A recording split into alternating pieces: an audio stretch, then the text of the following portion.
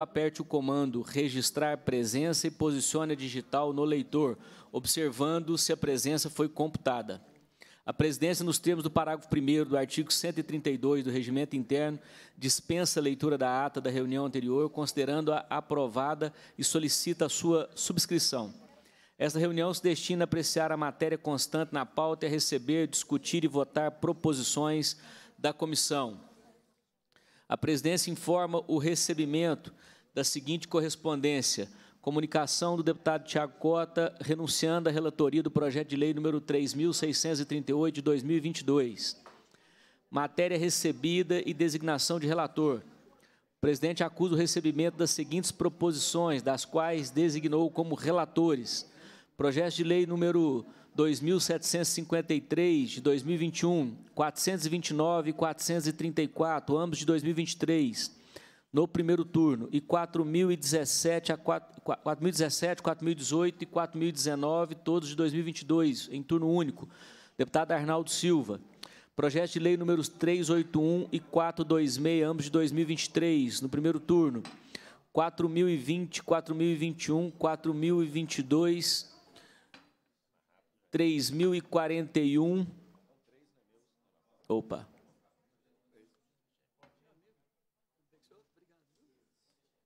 Só um minuto.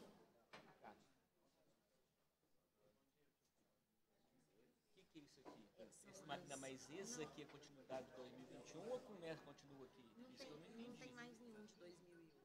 É, Aqui, só quatro- esse. Esses aqui, aqui esse- são de 2022. Continua. Mas isso aqui é o quê? São os outros, aqueles dois que eu anotei. É.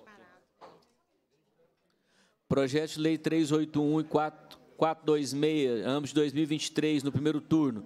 4020, 4021, 4022 e 4033, todos de 2022, em turno único. 3.041 de 2021, 573 de 2019, primeiro turno. Todos designados como relator, deputado Charles Santos. Projeto de lei número 2.544 de 2021, no primeiro turno. Deputado Dr. Jean Freire, designado como relator. Projeto de lei número 2.833 de 2015, 5.096, 5.116, 5.125, 5.286 e 5.298, todos de 2018. 1038, 1159, 1036 e 1332, todos de 2019. 2.574, 2.606, 2.936, 3.054, 3.072, 3.129, 3.181 e 3.341, todos de 2021, no primeiro turno, designado como relator o deputado Lucas Lasmar. Projeto de lei número 3.326 de 2021, no primeiro turno, designado como relator o deputado Tiago Cota. Projeto de lei número 3.353 de 2021, 3.638 de 2022 e 4.405 de 2023 no primeiro turno. 2.419 de 2021, 420 de 2023 em turno único, designado como relator deputado Zé Laviola. Projeto de lei número 587 de 2019 no primeiro turno, designado como relator deputado Bruno Engler. Passa-se a primeira fase da ordem do dia, que compreende a discussão e a votação de pareceres sobre proposições sujeitas à apreciação do plenário. A presidência acusa o recebimento de dois requerimentos. O primeiro deles, requerimento de autoria do deputado Cristiano Silveira, encaminhando um requerimento para que seja apreciado em primeiro lugar na ordem do dia as proposições 573 2019, 779 2019, 184 de 2023. A presidência submete o requerimento em votação. Os deputados que o aprovam permaneçam como se encontram. O requerimento está aprovado, nós colocaremos na, na pauta, em primeiro lugar, os projetos solicitados pelo deputado Cristiano Silveira. Requerimento de autoria do deputado Tiago Cota, solicitando que as proposições, projeto de lei 587-2019, 3.442, 3.443, 3.590, 3.627, todos de 2022, de relatoria do deputado Bruno Engler, sejam colocados em apreciação ao final da pauta. Requerimento está em votação. Os deputados que o aprovam permaneçam como se encontram. O requerimento está aprovado. Requerimento também do deputado Tiago Cota, requerendo que seja apreciado ao final da pauta também o projeto de lei 3.220 de 2016. O requerimento está em votação. Os deputados que o aprovam permaneçam como se encontram. O requerimento está aprovado. Vamos aos,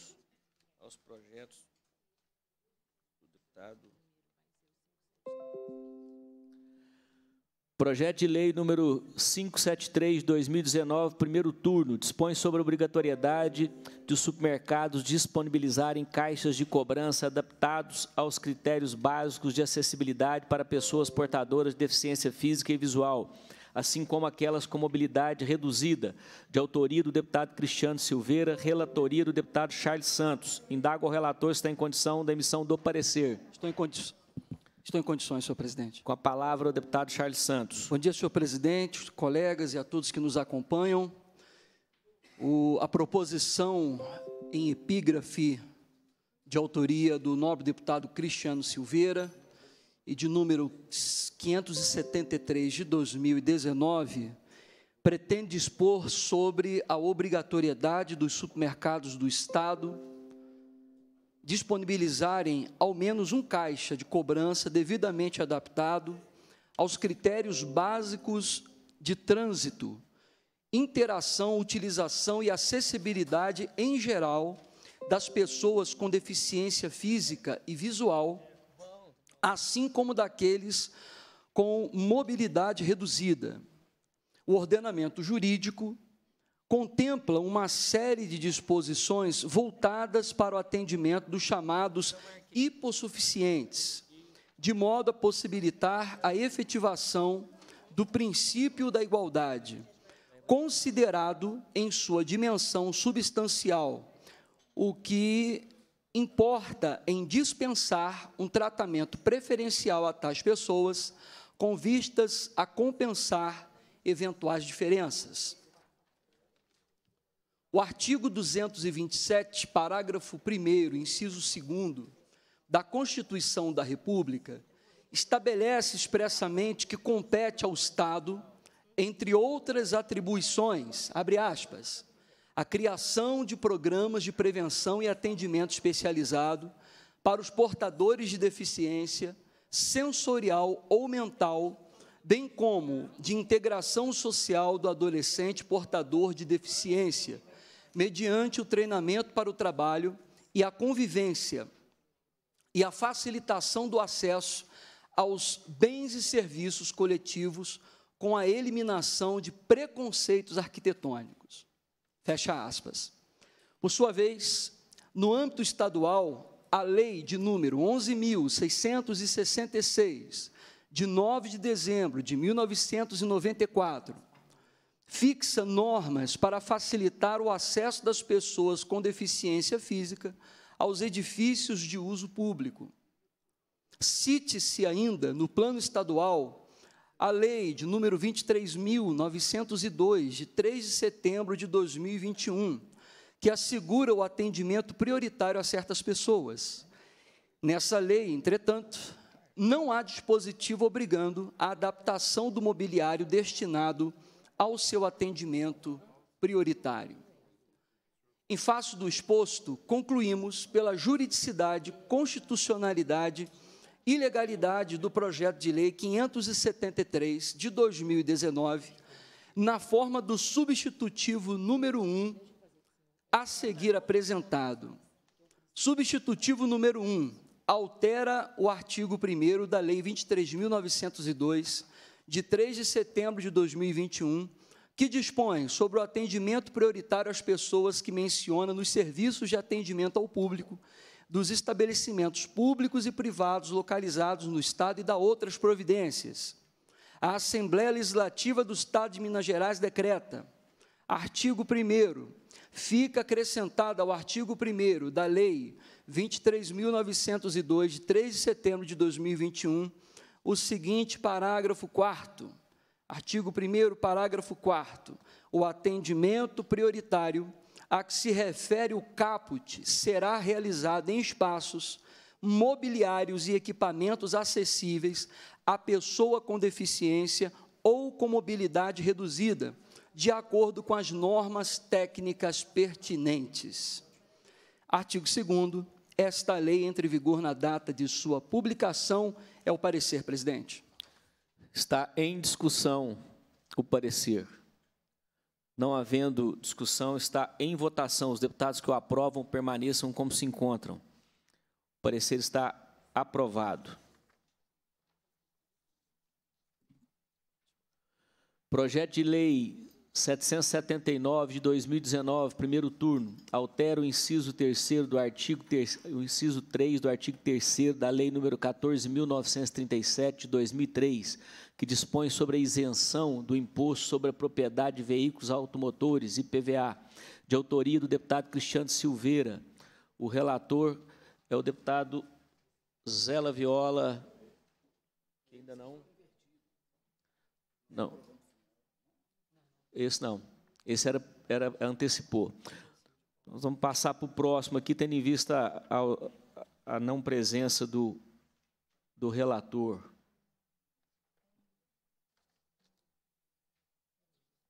Projeto de Lei 184 de 2023, primeiro turno, autoriza o Poder Executivo a doar ao município de Bom Despacho o imóvel que especifica de autoria do deputado Cristiano Silveira, relatoria do, de, do deputado doutor Jean Freire. Indago ao relator se está em condição da emissão do parecer.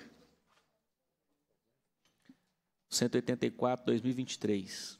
Sim, senhor presidente. Com a palavra, deputado doutor Jean Freire.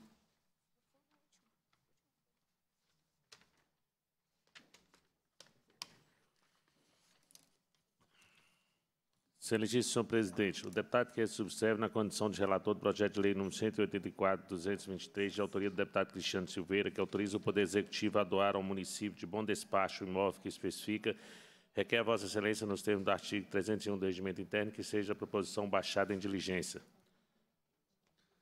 O requerimento está em votação. Os deputados que o aprovam permaneçam como se encontram. O requerimento está aprovado.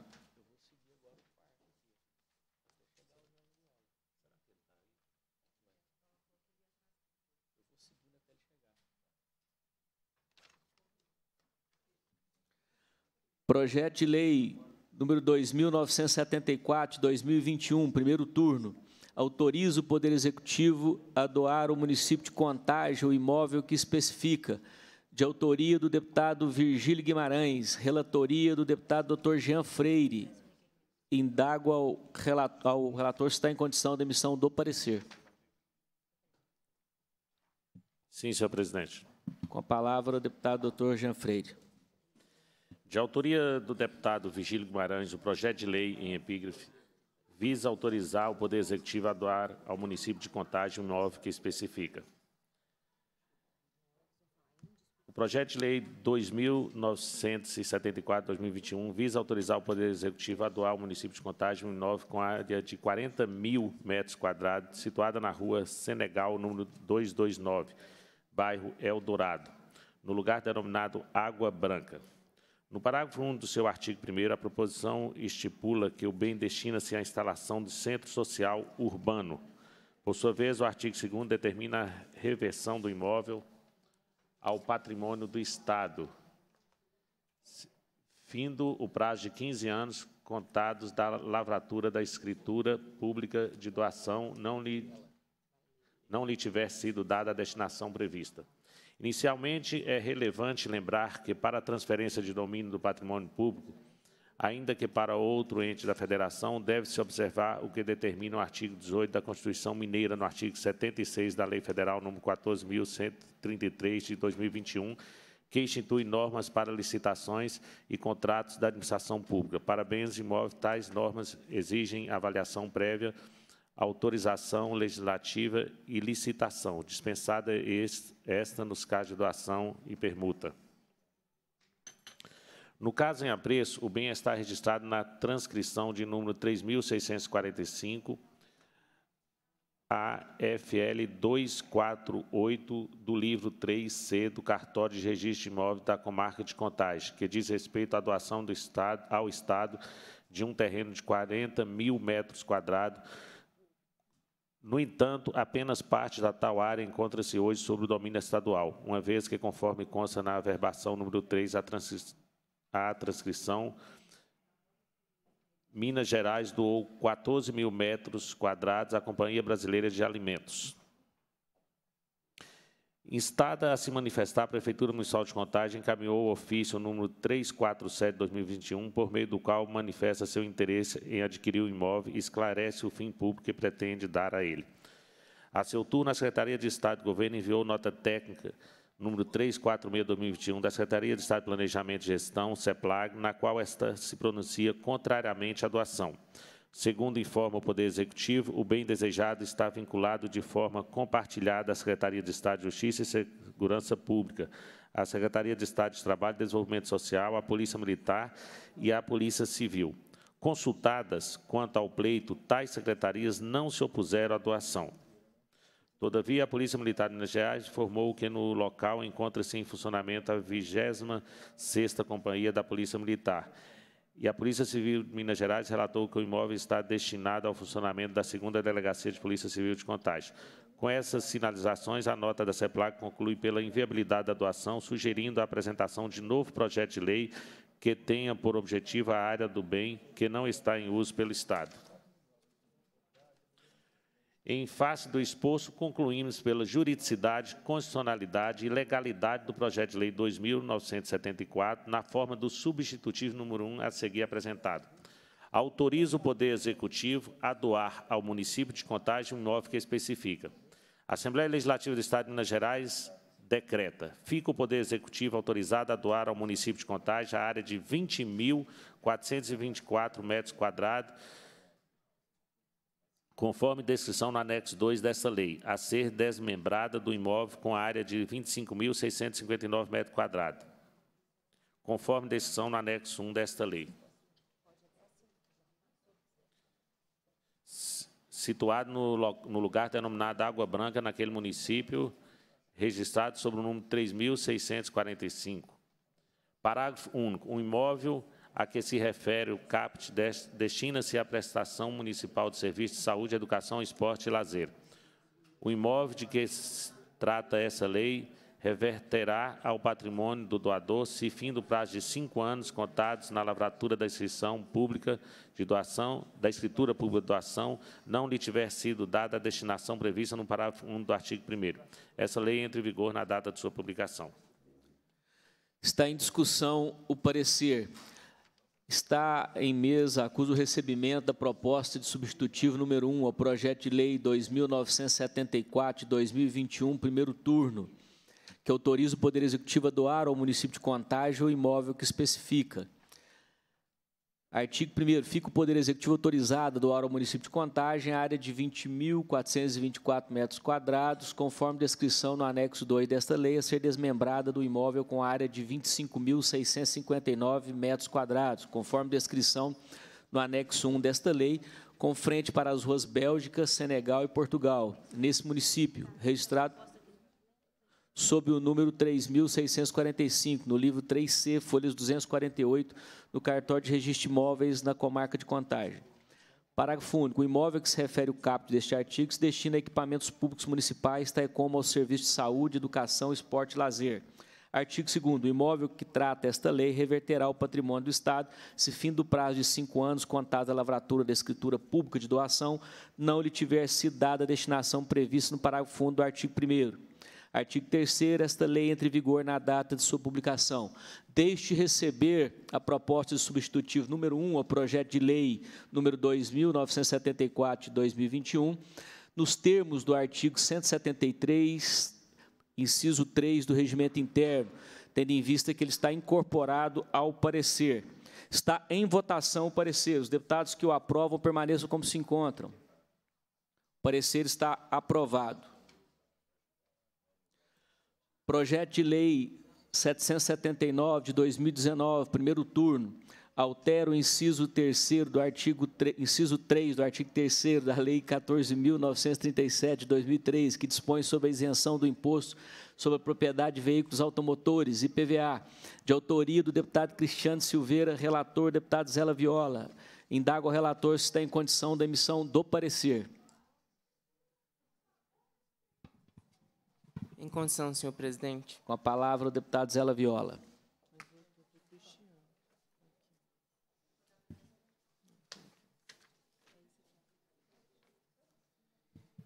De autoria do deputado Cristiano Silveira, o projeto de lei em epígrafe altera a redação do inciso 3 do artigo 3 da Lei nº 14.937 de 2003, que dispõe sobre a isenção do IPVA publicado no Diário do Legislativo de 31 de 5 de 2019, foi o projeto distribuído às Comissões de Constituição e Justiça, de Defesa dos Direitos da Pessoa com Deficiência e de Fiscalização Financeira e Orçamentária nos termos do artigo 188 do Regimento Interno.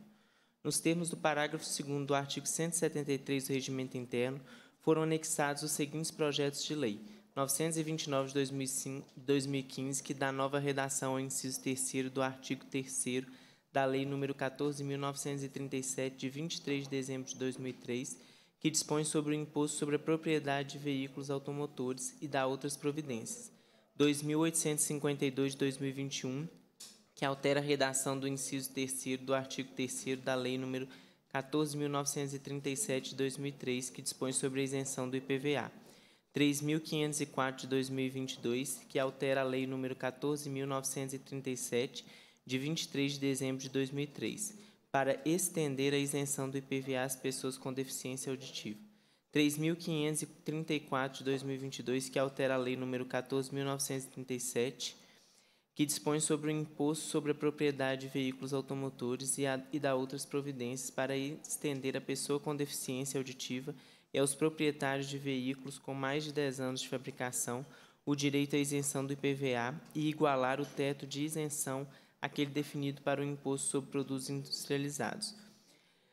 169 de 2023, que altera a lei número 14.937, que dispõe sobre o imposto sobre a propriedade de veículos automotores e dá outras providências. Foi anexada ainda ao projeto de lei número 3.534 de 2022, o projeto de lei número 3.901 de 2022, que altera a redação do inciso 7 do artigo 3 da Lei nº 14.937, que dispõe sobre PVA e dá outras providências. Cumpre-nos preliminarmente examinar a proposição nos seus aspectos de juridicidade, constitucionalidade e legalidade, nos termos do artigo 102, inciso 3 alineado mencionado regimento. O projeto tem tela objetiva dar nova redação ao inciso 3 do artigo 3 da Lei nº 14.937, de 2003, que dispõe sobre imposto sobre propriedade de veículos automotores, para incluir entre as hipóteses de isenção do referido imposto a propriedade do veículo de pessoa com síndrome de Down. O artigo 3 inciso 3 da Lei nº 14.937 de 2003 estabelece a isenção do imposto para veículo de pessoa com deficiência física, visual, mental, severa ou profunda ou autista, observadas as condições previstas em regulamento. No regulamento do IPVA constante do decreto número 43.709 de 2003, já se encontra previsto que a referida isenção abrange o veículo de pessoa com síndrome de Down. Dessa forma, a proposta em análise não amplia a isenção do IPVA e não promove renúncia de receita, o que demandaria o atendimento de comandos legais da Lei Complementar número 101 de 2000 conhecida como Lei de Responsabilidade Fiscal. Trata-se, na realidade, de um ajuste na lei atualizando o ordenamento jurídico mineiro. Em vista das razões expostas, a proposta em exame não encontra óbices de natureza constitucional e legal, merecendo tramitar pela Casa. Em face do exposto, concluímos pela juridicidade, constitucionalidade e legalidade do projeto de lei número 779 de 2019. O parecer está em discussão. Para discutir, o deputado Cristiano Silveira. Presidente Arnaldo, membros da comissão, eu gostaria, presidente, de agradecer aos relatores dos projetos que pude apresentar. Primeiro, a Vossa Excelência por ter permitido que fossem pautados projetos importantes que tratam da inclusão das pessoas com deficiência e o trabalho que foi feito pelos relatores.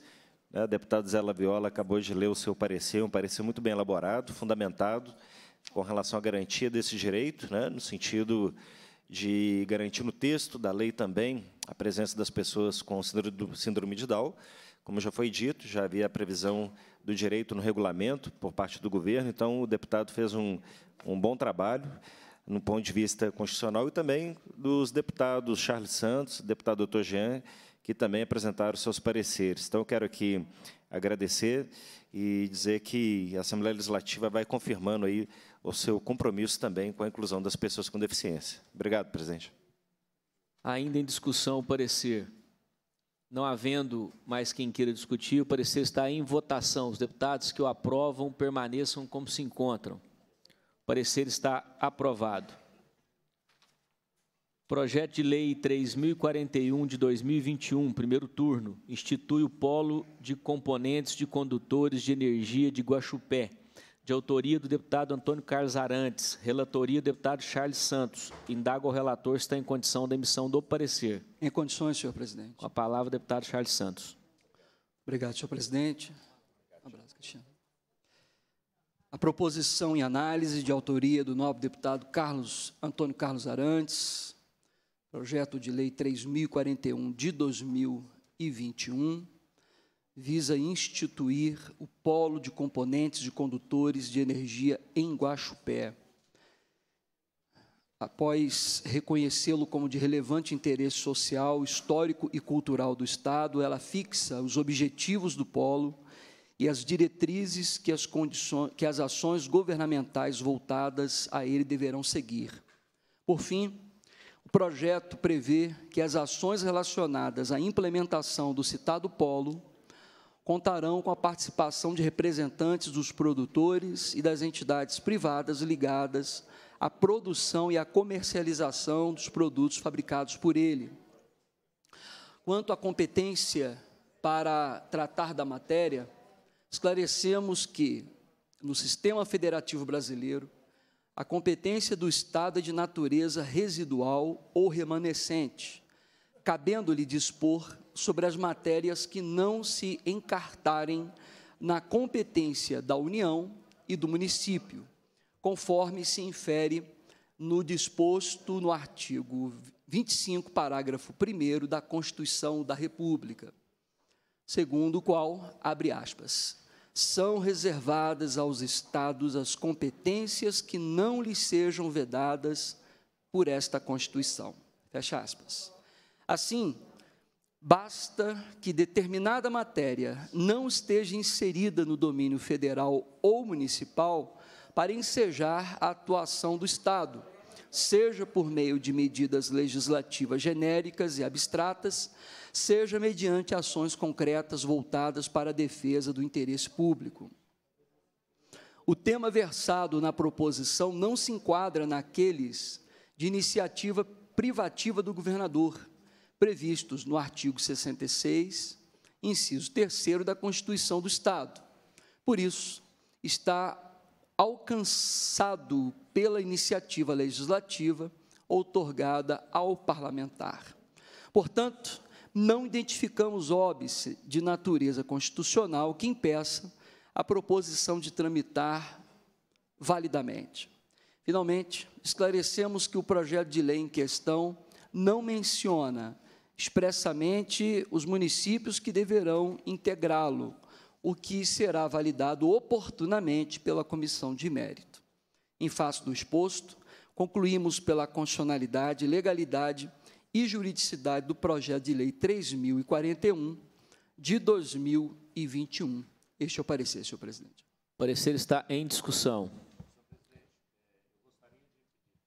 Projeto, uma vez que nós temos tramitando nessa casa também a criação de outros polos que trata do mesmo tema, eu gostaria de discutir, inclusive, com o autor do projeto. É regimental, a vista está concedida ao deputado Dr. Jean Freire. Projeto de Lei 3.325, de 2021, primeiro turno. Autoriza o Poder Executivo a doar ao município de Serrania o imóvel que especifica. De autoria do deputado Duarte Bechir. Relatoria, deputado Zé Viola. Indaga ao relator se está em condição da emissão do parecer. Em condições, senhor presidente. Com a palavra, deputado Zé Viola. O projeto de lei número 3.325 de 2021 tem por objetivo autorizar o Poder Executivo a doar ao município, ao município de Serrania o imóvel com área de 493,14 metros quadrados situados na Rua dos Expedicionários, número 20, naquele município, registrado sob o número 12.414, a folha 1 do livro 2 no cartório de registro de imóveis da comarca de Alfenas. A Prefeitura Municipal de Serrania solicita o imóvel conforme se depreende da leitura do ofício número 178 de 2021, em que esclarece que almeja, na realidade, o lote de 493,14 metros quadrados pertencente a terreno maior, cuja área é de 1.190 metros quadrados, com o intuito de construir um prédio público municipal. A Secretaria de Estado de Governo, em resposta a esta relatoria, encaminhou a nota técnica número 298 de 2022 da Secretaria de Estado de Planejamento e Gestão, por meio da qual esclareceu que o bem está vinculado ao uso da Polícia Militar de Minas Gerais e que esta, consultada a respeito da operação vislumbrada, informou que o imóvel não está sendo utilizado. Ademais, a CEPLAG salientou que o terreno, de propriedade estadual, tem área de 1.190 metros quadrados e se manifestou favoravelmente quanto ao pleito devido ao fato de o Estado não ter projetos para utilização do bem. Em vista do exposto, será necessário esclarecer que a área a ser doada faz parte de terreno maior e que, para concretização da doação, deverá ser feito seu desmembramento, o que está configurado em memorial descritivo já apresentado pelo autor quando da propositura do projeto. Assim, embora não haja óbvia tramitação de matéria em análise, apresentamos ao final deste parecer o substitutivo número 1, com a finalidade de adequar o texto à técnica legislativa informar sobre o desmembramento da área almejada, alterar a destinação a ser conferida ao bem e incluir anexo com o um memorial descritivo do terreno a ser doado. Em face do exposto, concluímos pela juridicidade, constitucionalidade e legalidade do projeto de lei número 3.325 de 2021, na forma do substitutivo número 1 a seguir redigido. Substitutivo número 1. Autoriza o Poder Executivo a doar ao município de Serrania o imóvel que especifica a Assembleia Legislativa do Estado de Minas Gerais, de Minas Gerais decreta. Artigo 1 Fica o Poder Executivo autorizado a doar ao município de Serrania o imóvel área com área de 493,14 metros quadrados, a ser desmembrada conforme descrição no anexo desta lei do imóvel de área total de 1.190 metros quadrados, situado na Rua dos Expedicionários, naquele município, registrado sob o número 12.414 do livro 2 no cartório de registro de imóveis da comarca de Alfenas. Parágrafo único. O imóvel a que se refere o caput destina-se à construção de prédio público municipal. Artigo 2 O imóvel de que trata esta lei reverterá ao patrimônio do Estado se, fim do prazo de cinco anos contados à lavratura da escritura pública de doação, não lhe tiver sido dada a destinação prevista no parágrafo único do artigo 1 essa lei entra em vigor na data de sua publicação. Anexo. A área a ser desmembrada à frente do terreno na Rua dos Expedicionários possui extensão de 27,7 metros. A lateral direita confronta com o lote de propriedade do Estado de Minas Gerais e possui extensão de 13,8 metros, realizando uma curva à esquerda com extensão de 1,3 metros e uma à direita com 4,2 metros, em ângulos retos, chegando ao fundo do terreno. No fundo do lote, este confronta-se com o lote de propriedade do Estado de Minas Gerais, com a extensão de 3,3 metros, e com proprietários particulares com a extensão de 13,10 metros, totalizando 26,4 de fundo. Por fim, a lateral esquerda do terreno situa-se na rua Gaspar Lopes, com a extensão de 18 metros perfazendo um perímetro de 91,4 e uma área de 493,14 metros quadrados. Este é o relator, senhor presidente. Esse é o relatório, senhor presidente. O parecer está em discussão. Não havendo discussão, o parecer está em votação. Os deputados que o aprovam permaneçam como se encontram. O parecer está aprovado. Projeto de Lei 3.610, de 2022, primeiro turno, autoriza o Poder Executivo a doar ao município de Bias Fortes o imóvel que especifica. De autoria do deputado Zé Guilherme, relatoria do deputado Zé Viola. Indaga o relator se está em condição da emissão do parecer. Em condições, senhor presidente. Com a palavra, deputado Zé Viola. De autoria do deputado Zé Guilherme, o projeto de lei em epígrafe tem por objetivo autorizar o Poder Executivo a doar ao município de Bias Fortes o imóvel que especifica. Trata o projeto de lei número 3.610 de 2022 de autorizar o Poder Executivo a doar ao município de Bias Fortes o imóvel com área de 480 metros quadrados situado na rua do Celso Sul Ferreira, número 40, naquele município, registrado sobre o número 2544, a folha 2544, do livro 2 no cartório de registro de imóveis da comarca de Barbacena para o funcionamento da Secretaria de Saúde. As regras básicas que condicionam a alienação de bens da administração constam do, no artigo 18 da Constituição do Estado, que exige avaliação prévia, autorização legislativa e licitação para alienação de imóveis. O dispositivo excepciona a exigência de processo licitatório quando tratar de doação e permuta na forma da lei. Instada a se manifestar sobre a alienação pretendida, a Secretaria de Estado de Governo encaminhou a nota técnica número 140 de 2022, relatando que, embora o bem se encontre vinculado à Secretaria de Estado de Saúde, esta foi consultada quanto ao pleito e informou não ter interesse direto na utilização do imóvel. Assim, o Executivo Estadual se manifestou favoravelmente à doação, fazendo, no entanto, ressalvas quanto à cláusula de reversão, pois o prazo de 10 anos constante no projeto é excessivamente longo, e sugerindo a alteração no artigo 1 da proposição para atualizar os dados cadastrais.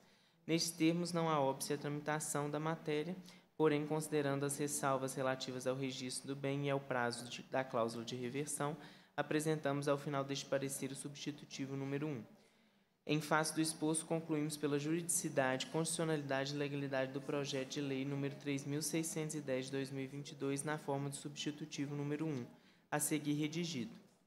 Substitutivo número 1. Autoriza o Poder Executivo a doar ao município de Bias Fortes o imóvel que especifica. A Assembleia Legislativa do Estado de Minas Gerais decreta.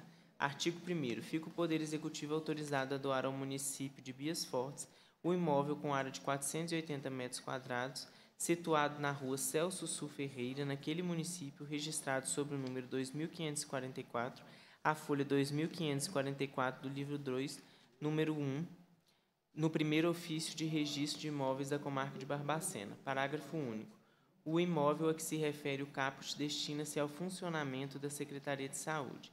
Artigo 2 O imóvel de que trata esta lei reverterá ao patrimônio do Estado se fim do prazo de cinco anos contados da lavratura da escritura pública de doação não lhe tiver sido dada a destinação prevista no parágrafo único do artigo 1 Esta lei entra em vigor na data de sua publicação. Este é o relatório, senhor presidente. O parecer está em discussão. Não havendo discussão, o parecer está em votação. Os deputados que o aprovam permaneçam como se encontram. O parecer está aprovado. Projeto de Lei 3.792 de 2022, primeiro turno, dispõe sobre a desafetação do trecho de rodovia que especifica e autoriza o Poder Executivo a doar ao município de São José do Alegre a área correspondente. De autoria do deputado Dorgal Andrada, relatoria do deputado Zela Viola. Indaga o relator está em condição da emissão do parecer. Em condições, senhor presidente. A palavra, deputado Zela Viola. É, de autoria do deputado Dorgal Andrada, que dispõe sobre a desafetação do trecho de rodovia que especifica e autoriza o Poder Executivo a doar ao município de São José do Alegre a área correspondente, requer a Vossa Excelência, nos termos do artigo 301 do Regimento Interno, que seja proposta encaminhada à Prefeitura Municipal de São José do Alegre para que declare sua aquiescência ao negócio jurídico que se pretende efetivar e à Secretaria de Estado de Governo para que se manifeste sobre a viabilidade da matéria. Requerimento está em votação. Os deputados que o aprovam permaneçam como se encontram. O requerimento está aprovado. Projeto de Lei 3.864 de 2022, primeiro turno, autoriza o Poder Executivo a doar ao município de Visconde do Rio Branco o imóvel que especifica, de autoria do deputado Roberto Andrade, relatoria do deputado Lucas Lasmar. Indaga o relator está em condição da emissão do parecer. Sim. Com a palavra, o deputado Lucas Lasmar. O deputado que este subscreve, nas condições de relatoria do projeto de lei número 3.864 de 2022, de autoria do deputado Roberto Andrade, que autoriza o Poder Executivo a doar ao município de Visconde do Rio Branco o imóvel que especifica. Requer a Vossa Excelência que, nos termos do artigo 301 do Regimento Interno, seja é, a pro, proposição encaminhada ao relator para que nos envie cópia do inteiro teor da matrícula individualizada do imóvel. 2. A Secretaria de Estado de Governo para que informe a essa Assembleia sobre a situação efetiva do imóvel e se há algum óbice à transferência é, do terreno. O requerimento está em votação. Os deputados que o aprovam permaneçam como se encontram. O requerimento está aprovado. Projeto de Lei 3.870 de 2022, primeiro turno, reconhece como de relevante interesse cultural do Estado o estabelecimento denominado Café Palhares, no município de Belo Horizonte, de autoria do deputado João Vitor Xavier, relatoria do deputado Tiago Cota. Indaga o relator se está em condição da emissão do parecer. Em condições, presidente. Com a palavra, deputado Tiago Cota.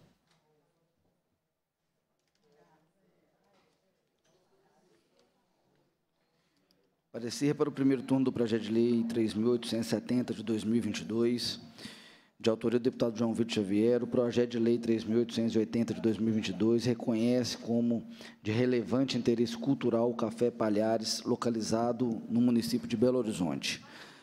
Publicado no Diário do Legislativo no dia 4 de 8 de 2022, o projeto de lei distribuído às comissões de Constituição e Justiça e de Cultura para parecer. Compete a esta comissão, nos termos do artigo 188, combinado com o artigo 102, inciso 3 parágrafo A do regimento interno, manifestar-se preliminarmente quanto ao aspecto de juridicidade, constitucionalidade e legalidade da proposição.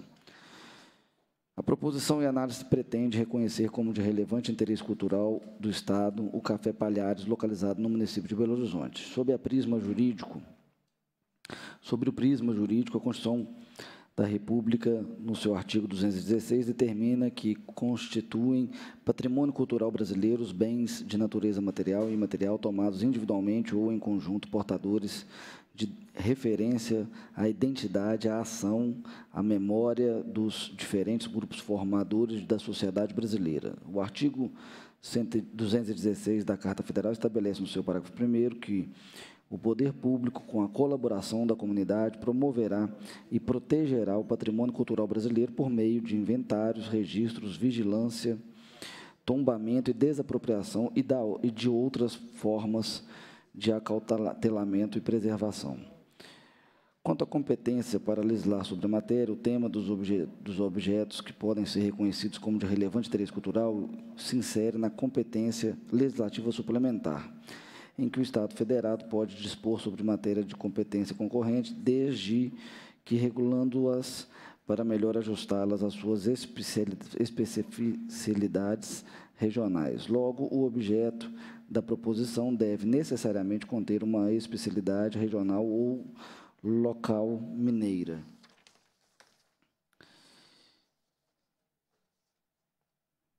Entendemos, contudo, não ser possível que o café Palhares seja reconhecido por lei como de relevante interesse cultural do Estado, isso porque não é possível conceder o título de relevante interesse cultural a pessoas jurídicas, ainda que sem fins lucrativos ou mesmo com objetivos estatutários relacionados à cultura, educação ou a quaisquer formas de beneficência, pois, na forma do artigo 1 da citada Lei nº 24.219 de 2022, o título deve ser atribuído a bens culturais, equivale dizer a um bem ou e, e não a uma pessoa. Além disso, devemos ressaltar que o Café Palhares é pessoa jurídica que tem fins empresariais e a atribuição por lei do título de relevante interesse cultural, nesse caso, acarretaria um uma, uma des desequiparação entre agentes e produtos do mercado.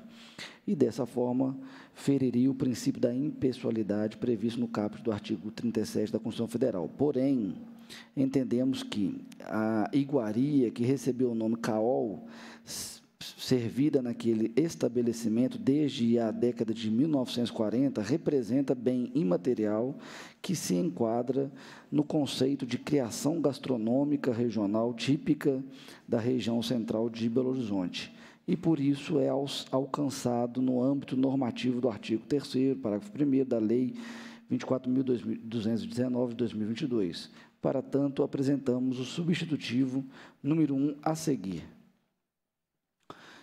Em face do exposto, concluímos pela juridicidade, constitucionalidade e legalidade do projeto de lei 3.870 de 2022, na forma do seu substitutivo número 1 a ser apresentado. Substitutivo número 1 reconhece como de relevante interesse cultural do Estado o prato típico conhecido como caol, da região central do município de Belo Horizonte. A Assembleia Legislativa do Estado de Minas Gerais decreta, artigo 1 fica reconhecido como de relevante interesse cultural do Estado, nos termos do artigo do, da Lei 24.219, de 15 de julho de 2022, o caol, prato típico da região central de Belo Horizonte. Artigo 2 o reconhecimento que se trata esta lei, conforme dispõe no artigo 2 da Lei 24.219 de 2022, tem por objetivo valorizar bens, expressões e manifestações culturais dos diferentes grupos formadores da sociedade mineira. Artigo 3 essa lei entra em vigor na data de sua publicação.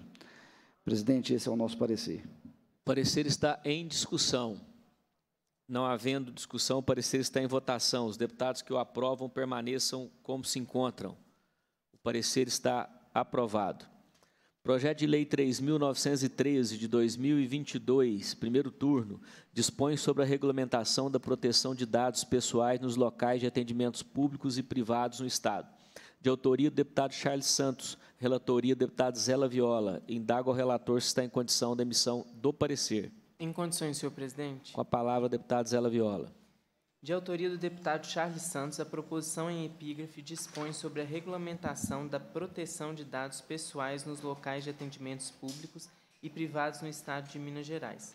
A proposição em epígrafe pretende, em síntese, determinar aos estabelecimentos públicos e privados no Estado de Minas Gerais, quando realizarem os atendimentos públicos e individuais, o direito dos cidadãos na coleta de dados pessoais sua transmissão de forma escrita e sigilosa nos respectivos estabelecimentos. Anteriormente à promulgação da Emenda à Constituição número 115 de 2022, já havia sido promulgada a Lei Geral de Proteção de Dados Pessoais, Lei número 13.709, de 14 de agosto de 2018, que dispõe sobre o tratamento de dados pessoais, inclusive nos meios digitais, por pessoa natural ou por pessoa jurídica de direito público ou privado, com o objetivo de proteger os direitos fundamentais de liberdade de privacidade e o livre desenvolvimento da personalidade da pessoa natural. Observa-se ainda que as normas gerais contidas nesta lei são de interesse nacional e devem ser observadas pela União, Estados, Distrito Federal e municípios. Dessa forma, afere-se que o presente projeto de lei tem por objetivo tornar efetivos, no âmbito do Estado de Minas Gerais, os direitos dos titulares de dados pessoais previstos na LGPD, em especial aqueles decorrentes de, dos princípios previstos no artigo 6 da referida lei. Destaca-se o denominado mínimo essencial, formado pelos princípios da finalidade, da adequação e da necessidade que limitam o tratamento dos dados visando a compatibilização com as finalidades informadas e de acordo com o contexto, sempre considerado o mínimo necessário para a realização daquelas finalidades, observando-se a pertinência, a, a proporcionalidade e o não excesso. Além disso, na garantia dos direitos dos titulares, impõe-se a adoção pelos agentes de tratamento de medidas técnicas e administrativas necessárias para garantir a proteção dos dados pessoais em atendimento ao princípio da prevenção disposto no inciso 8 do artigo 6 da LGPD. Com o avanço tecnológico, o número de fraudes e os mais variados crimes cibernéticos tem aumentado significativamente, impondo a redução da exposição e vulnerabilidade dos dados pessoais quando do seu tratamento pelas organizações públicas e privadas. Sabe-se que muitos sistemas e práticas ainda são vulneráveis e que apenas algumas informações, como por exemplo o CPF, já são suficientes para acarretar prejuízos à população, tais como a abertura de contas bancárias, requisições de créditos e aquisições de benefícios sociais. Assim, entendemos que a proposição na forma do substitutivo número 1, ora apresentado, não invade competência privativa da União para legislar sobre proteção e tratamento de dados pessoais, nos termos do inciso 30 do artigo 22 da Constituição da República Federativa do Brasil, de 1988, já que pretende garantir no âmbito estadual a efetividade de direitos e garantias fundamentais, especialmente os direitos dos titulares de dados pessoais.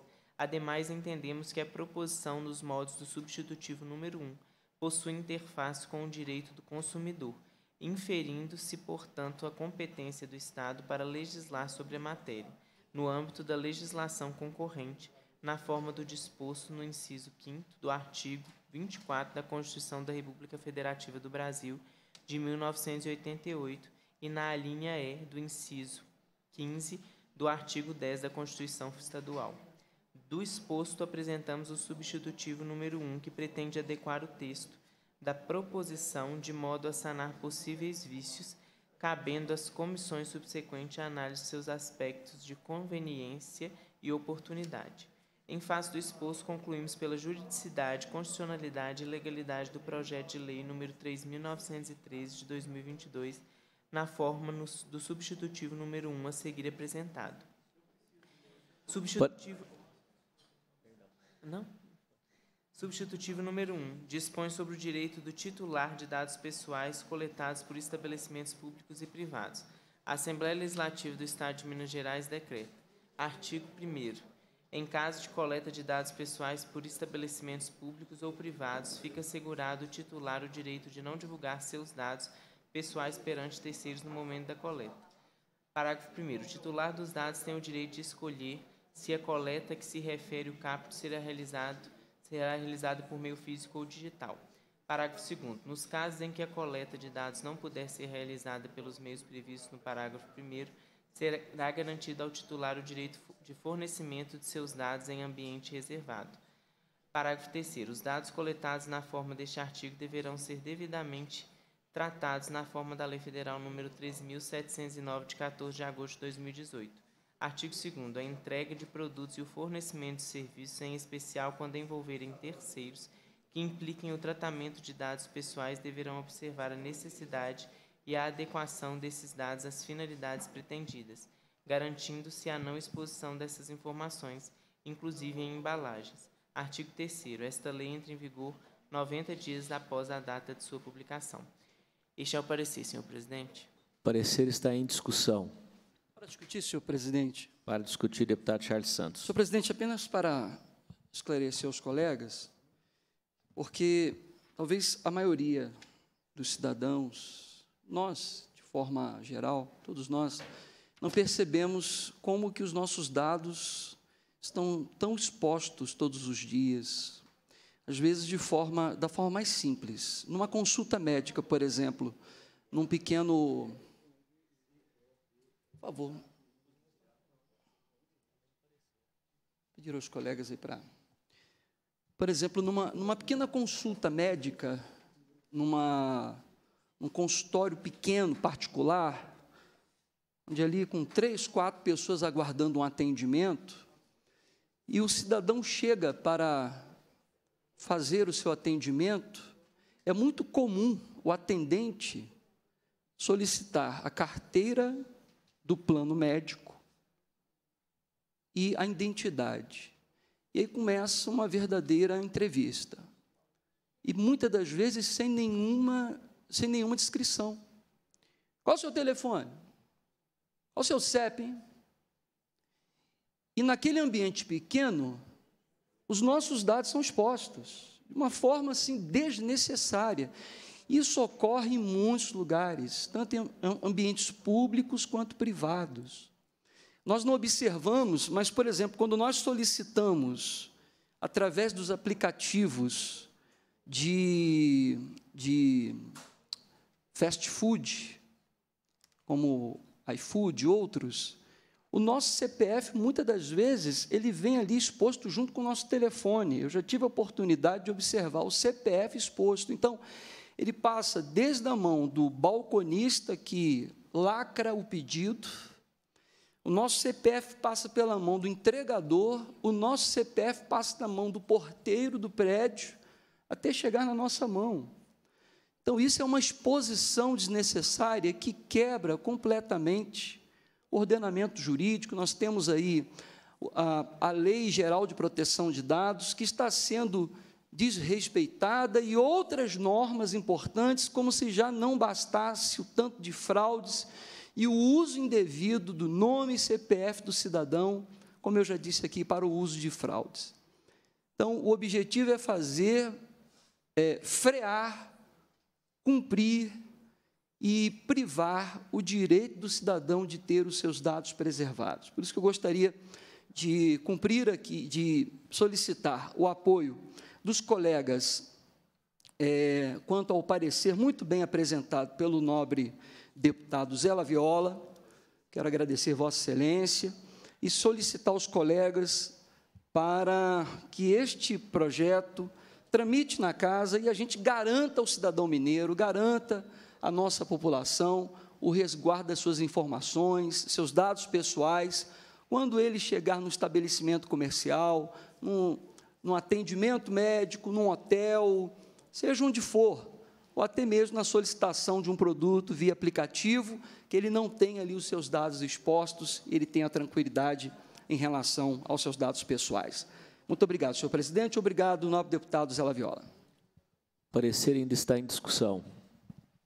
Não havendo mais discussão, o parecer está em votação. Os deputados que o aprovam permaneçam como se encontram. O parecer está aprovado. Projeto de Lei 54 de 2023, primeiro turno, altera a Lei número 6.763, de 26 de dezembro de 1975, que consolida a legislação tributária do Estado de Minas Gerais. De autoria do deputado Charles Santos, relatoria do deputado Zé Viola. Indago o relator se está em condição da emissão do parecer. Em condições, senhor presidente. Com a palavra, deputado Zé Viola. De autoria do deputado Charles Santos, o projeto de lei em epígrafe altera a lei número 6.763, de 26 de dezembro de 1975, que consolida a legislação tributária do Estado de Minas Gerais e dá, outra, e dá outras providências. O projeto em tela pretende alterar os parágrafos 20b e 20c do artigo 12 da Lei nº 6.763, de 1975, que versam sobre a redução de carga tributária em operação interna com mercadorias em que haja um emprego de rejeito ou estéreo de minério como insumo em sua fabricação. O projeto em análise objetiva dar nova redação ao mencionado parágrafo 20b para ampliar as mercadorias sujeitas à redução da carga tributária, abarcando além das atuais obras de cimento ou de concreto, classificadas na posição 68.10 da NBM-SH, os tijolos para construção, tijoleiras, tapas, vigas e produtos semelhantes de cerâmica, classificados na posição 69.04 da NBM-SH, as telhas de cerâmica classificadas na posição 69.05 da NBM-SH e os tubos, calhas ou algeroses e acessórios para canalizações de cerâmica classificadas no código 6.906.00.00 da NBM-SH. Além disso, a proposta em análise altera o parágrafo 20c para dispor que a autorização de redução previstas prevista no parágrafo 20b também se aplica à operação de saída de rejeito ou estéreo de minério para emprego como insumo na produção das mercadorias listadas nos incisos do parágrafo 20b. Pela redação vigente dos parágrafos 20b e 20c, e que está sendo mantida pelo projeto de lei em apreço, a autorização veiculada para a redução da carga tributária para as mencionadas mercadorias somente surtirá efeitos após a celebração do respectivo convênio do CONFAS, não havendo óbices jurídicos a serem apontados. Caberá à comissão de mérito competente avaliar a conveniência e oportunidade da ampliação do benefício às novas mercadorias, conforme pretendido pelo autor. Em face do exposto, concluímos pela juridicidade, constitucionalidade e legalidade do projeto de lei número 54 de 2023. Este é o parecer, senhor presidente. Está em discussão o parecer. Presidente, pode discutir. Com a palavra, o deputado Charles Santos. Apenas para elucidar é, a parte técnica do projeto, ele trata de, do uso, é, do aproveitamento do minério estéreo, ou seja, daquele é, da última, daquele rejeito da última parte lá do minério para o uso de concreto, argamassa, tijolos e blocos de pavimentação, para que o Estado possa utilizar em construção civil, pavimentação de estradas, é, e aí estaríamos propondo aí, estamos propondo a redução do ICMS para aplicação deste material, deixando claro, minério estéreo. Esta é a proposta, senhor presidente. Ainda em discussão o parecer. Não havendo mais discussão, o parecer está em votação. Os deputados que o aprovam permaneçam como se encontram. O parecer está aprovado. Projeto de lei número 63 de 2023, primeiro turno, altera o artigo 3 da Lei número 11.824, de 6 de junho de 1995, que dispõe sobre a obrigatoriedade da veiculação de mensagens de conteúdo educativo nas capas e contracapas de cadernos escolares adquiridos pelas escolas públicas, de autoria do deputado Grego da Fundação. Relatoria, deputado Zela Viola. Indaga ao relator se está em condição da emissão do parecer. Em condições, senhor presidente. Com a palavra, deputado Zela Viola. De autoria do deputado Grego da Fundação, o projeto de lei em epígrafe altera o artigo 3 da Lei nº 11.824, de 6 de junho de 1995, que dispõe sobre a obrigatoriedade da veiculação de mensagens de conteúdo educativo nas capas e contracapas de cadernos escolares adquiridos pelas escolas públicas. A proposição em análise objetiva acrescentar inciso ao artigo 3 da Lei nº 11.824, de 1995, que dispõe sobre a obrigatoriedade da veiculação de mensagens de conteúdo educativo nas capas e contracapas de cadernos escolares adquiridos pelas escolas públicas para alertar sobre os malefícios do consumo de álcool, tabaco e outras drogas. O autor, na justificação da matéria, aduz que a aproximação dos jovens com drogas, ilícita, com drogas lícitas como o álcool e o tabaco, ilícitas ocorre geralmente no início da adolescência, quando eles ainda estão em ciclo escolar. No tocante aos aspectos jurídicos, a Constituição da República estabelece, nos termos do artigo 24, inciso 12, que a proteção e defesa da saúde é matéria de competência legislativa concorrente da União, dos Estados e Distrito Federal. Além disso, a iniciativa de matéria por parlamentar é legítima, pois a Constituição do Estado não a inseriu no domínio da iniciativa reservada. Também não há criação de despesa de forma direta. Em face do exposto, concluímos pela juridicidade, constitucionalidade e legalidade do projeto de lei número 63 de 2023. Este é o, esse é o parecer, senhor presidente. Parecer está em discussão. Não havendo discussão, o parecer está em votação. Os deputados que o aprovam permaneçam como se encontram. O parecer está aprovado. Projeto de Lei número 86 de 2023, primeiro turno, dispõe sobre a emissão de contra-cheque em formato acessível para os servidores públicos do Estado com deficiência visual. De autoria do deputado Grego da Fundação, de minha relatoria. Passo a leitura do parecer. De autoria do deputado Grego da Fundação, a proposição em epígrafe dispõe sobre a emissão de contra-cheque em formato acessível para os servidores públicos do Estado com deficiência visual. Publicado no Diário Legislativo de 1 de março de 2023, foi o projeto distribuído às comissões de Constituição e Justiça, de Defesa dos Direitos da Pessoa com Deficiência e de Fiscalização Financeira e Orçamentária, para receber parecer nos termos do artigo 188 do Regimento Interno. Cabe a esta comissão, preliminarmente, apreciar os aspectos jurídico, constitucional e legal da matéria, consoante dispõe o artigo 102, inciso 3, a linha A do mencionado regimento. A proposição em análise pretende dispor sobre a emissão de contra-cheque em formato acessível para os servidores públicos do Estado com deficiência visual. Em sua justificação, explica o autor que se trata de garantir àquele servidor com deficiência visual o recebimento de seu contra-cheque em formato adequado às suas necessidades, de forma a dar concretude à integração social da pessoa com deficiência e assegurar-lhe o pleno exercício do direito à informação. No que diz respeito aos aspectos constitucionais, não há impedimento à tramitação do projeto. A matéria não está rolada entre aquelas em que a Constituição deferiu competência ao chefe do Poder Executivo, ao presidente do Tribunal de Justiça, ao presidente do Tribunal de Contas ou à mesa da Assembleia para privativamente iniciar o processo legislativo. O ordenamento jurídico contempla uma série de disposições voltadas para o atendimento dos chamados hipossuficientes, de modo a possibilitar a efetivação do princípio da igualdade, considerado em sua dimensão substancial o que importa em dispensar um tratamento preferencial a tais pessoas com vistas a compensar eventuais diferenças. Quanto à competência para tratar da matéria, deve-se reconhecer que o tema diz respeito à proteção e à integração social das pessoas com deficiência, razão pela qual, nos termos do artigo 24, inciso 14 da Constituição da República, o Estado encontra-se legitimado para legislar concorrentemente com a União e o Distrito Federal. No plano infraconstitucional, temos a Lei Federal número 13.146, de 6 de julho de 2015, conhecida como a Lei Brasileira de Inclusão, que busca afastar qualquer obstáculo que impeça o exercício dos direitos e garantias da pessoa com deficiência em sua plenitude. O artigo 4 da referida norma estabelece que toda pessoa com deficiência tem direito à igualdade de oportunidades com as demais pessoas e não sofrerá nenhuma espécie de discriminação.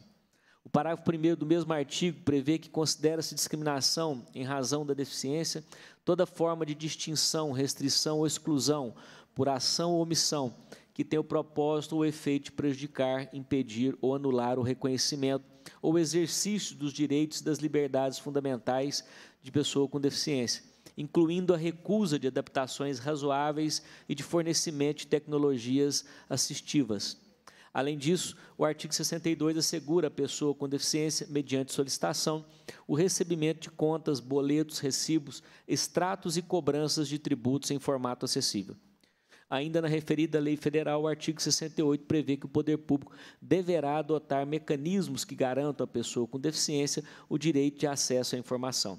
É direito do servidor, portanto, o fácil acesso ao seu contra-cheque, de modo a possibilitar a conferência dos seus vencimentos e parcelas indenizatórias percebidas, não podendo a deficiência ser fator limitante desse direito. Cumpre ainda destacar que há duas leis estaduais tratando de situações semelhantes. Lei número 17.354, de 17 de janeiro de 2008, que assegura às pessoas com deficiência visual o direito a receber demonstrativos de consumo de água, energia elétrica e telefonia confeccionados em braille e a Lei número 20.803, de 26 de julho de 2013, que dispõe sobre a adequação das instituições financeiras e das administradoras de cartões de crédito e cartões de afinidade ao atendimento de pessoas com deficiência visual. Caberá ainda à comissão de mérito avaliar a adequação do formato escolhido para a disponibilização do contra-cheque aos deficientes visuais, bem como a necessidade de definição do termo formato acessível no corpo da lei. Em face do exposto, concluímos pela juridicidade, constitucionalidade e legalidade do projeto de lei número 86 de 2023. O parecer está em discussão. Não havendo discussão, o parecer está em votação. Os deputados que o aprovam permaneçam como se encontram. O parecer está aprovado. Projeto de Lei número 97 de 2023, primeiro turno, estabelece a obrigatoriedade de afixação em obra pública estadual paralisada de placa contendo exposição dos motivos da interrupção. De autoria do deputado Dr. Jean Freire, relatoria deputado Lucas Lasmar. Indago ao relator se está em condição da emissão do parecer.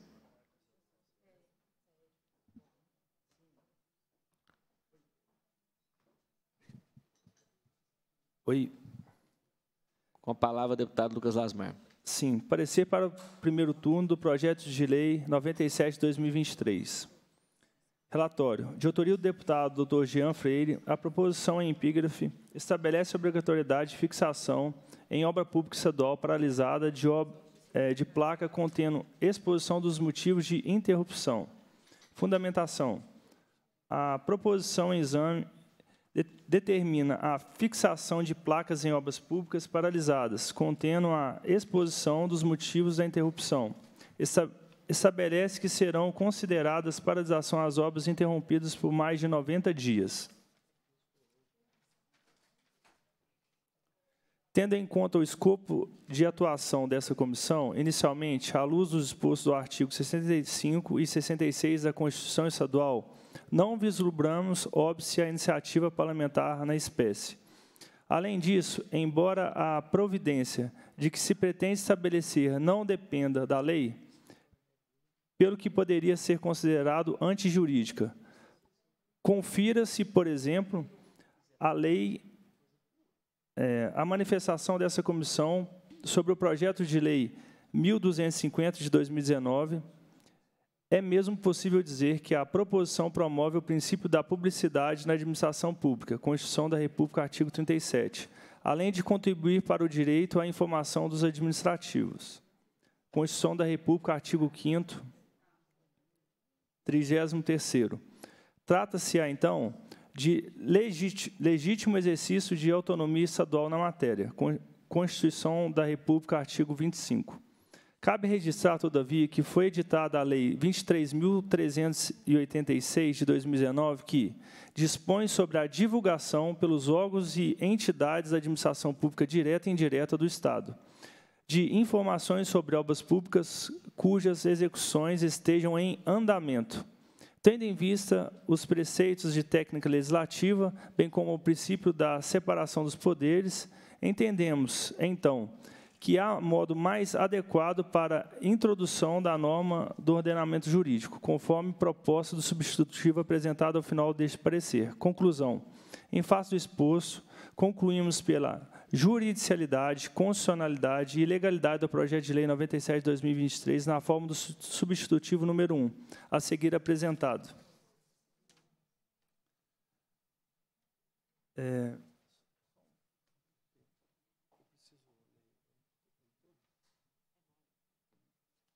Substitutivo número 1. Acrescenta dispositivos à Lei 23.386, de 9 de agosto de 2019, que dispõe sobre a divulgação pelos órgãos e entidades da administração pública direta e indireta do Estado, de informações sobre obras públicas cuja execução esteja em andamento. A Assembleia Legislativa do Estado de Minas Gerais decreta. Artigo 1 Fica acrescido ao artigo 1 da Lei 23.386, de 9 de agosto de 2019, o, seguinte parágrafo terceiro. Artigo 1, parágrafo 3 Nas placas informativas instaladas em obras públicas, é obrigatória a inclusão de endereços eletrônicos no qual podem ser encontradas as informações cuja divulgação está prevista nesta lei, em tamanho e formato que permita sua adequada visualização. Artigo 2 Fica acrescido à Lei 23.386 de 2019 os seguintes artigos, é, 1º-A e 1º-B. Artigo 1º-A.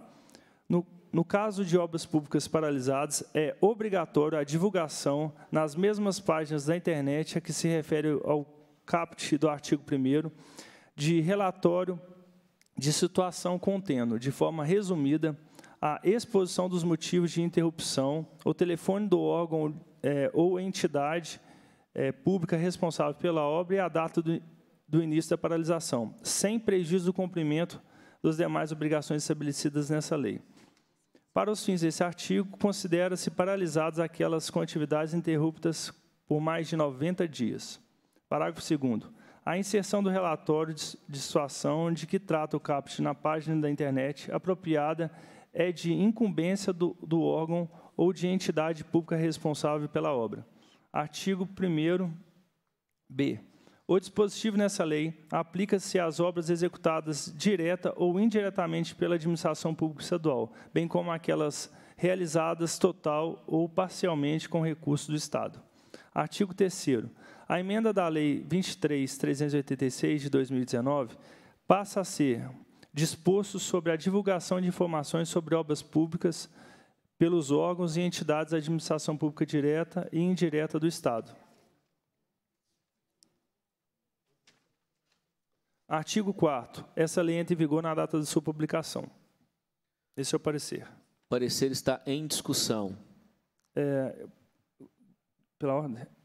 Pode discutir. É, gostaria de parabenizar o doutor Jean pelo projeto de lei, que eu acho que é de suma importância, principalmente no aspecto dos municípios do, do interior, onde existe uma guerra eleitoral, é, principalmente quando uma obra começa com o prefeito e ela não é concluída no mandato dele, e o seu sucessor, que às vezes pode ser seu adversário político, começam a criar é, informações falsas sobre a paralisação da obra, é, às vezes até mesmo a não sequência daquela obra, mesmo com dinheiro em caixa. É, eu já presenciei isso em alguns municípios da nossa região.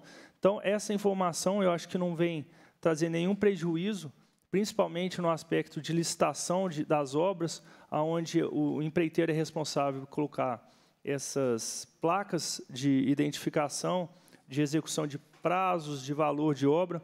Hoje a gente tem o QR Code que consegue colocar nas placas, onde a pessoa pode buscar essas informações, e eu acho que é super inteligente colocar no site da, da, da, dos órgãos públicos para passar essa informação para o eleitor e até mesmo para os agentes políticos daquela cidade.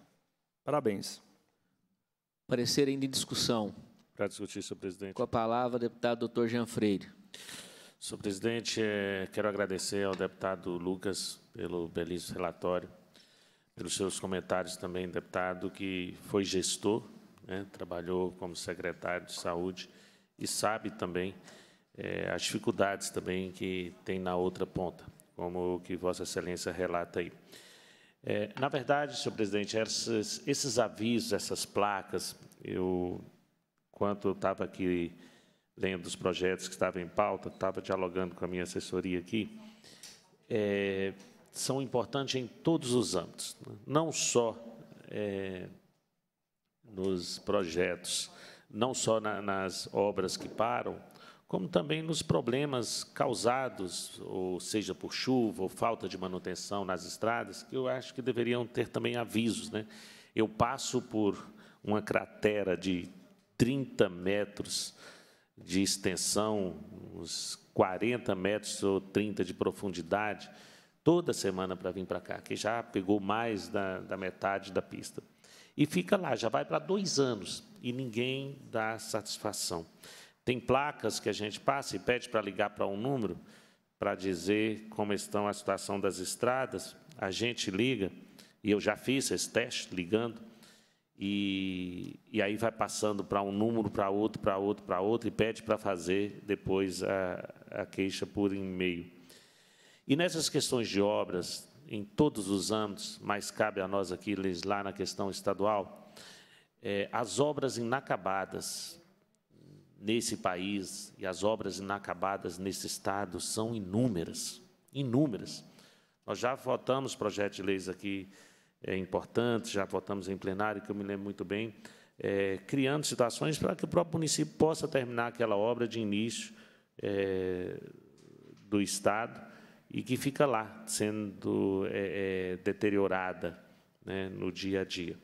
Então, o nosso intuito foi esse. Eu acho que quanto mais nós aproximarmos a população, uma maneira efetiva da população reclamar, dar as suas opiniões e ter informações é, se faz necessário. A gente passa por locais nesse estado que a gente vê placa de obras com início, com valor que será gasto ali e com datas que serão terminadas as obras e as obras nem sequer iniciaram.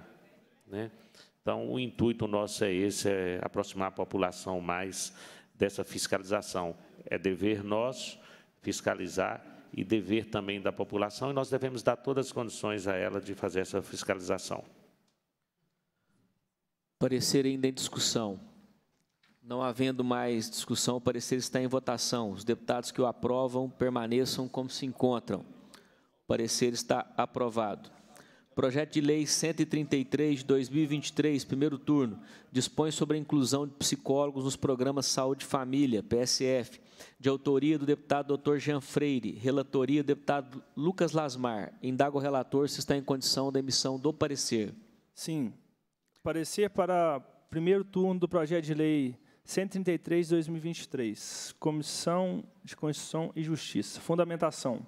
O projeto de lei em análise pretende estabelecer a obrigatoriedade da presença de pelo menos um psicólogo nas equipes de saúde da família para acompanhar as visitas domiciliares de, das famílias que tenham pessoas idosas.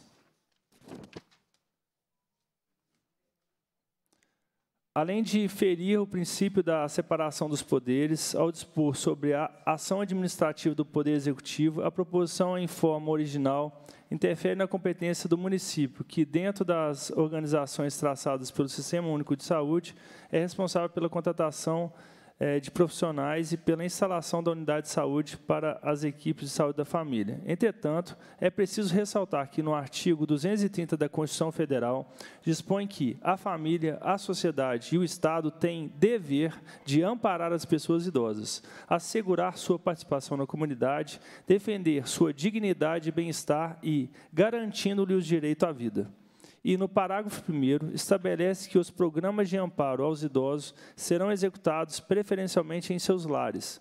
Assim, tendo, tendo em vista a relevância da matéria, vislumbramos a possibilidade de ser um pro, o projeto tramitar nesta casa.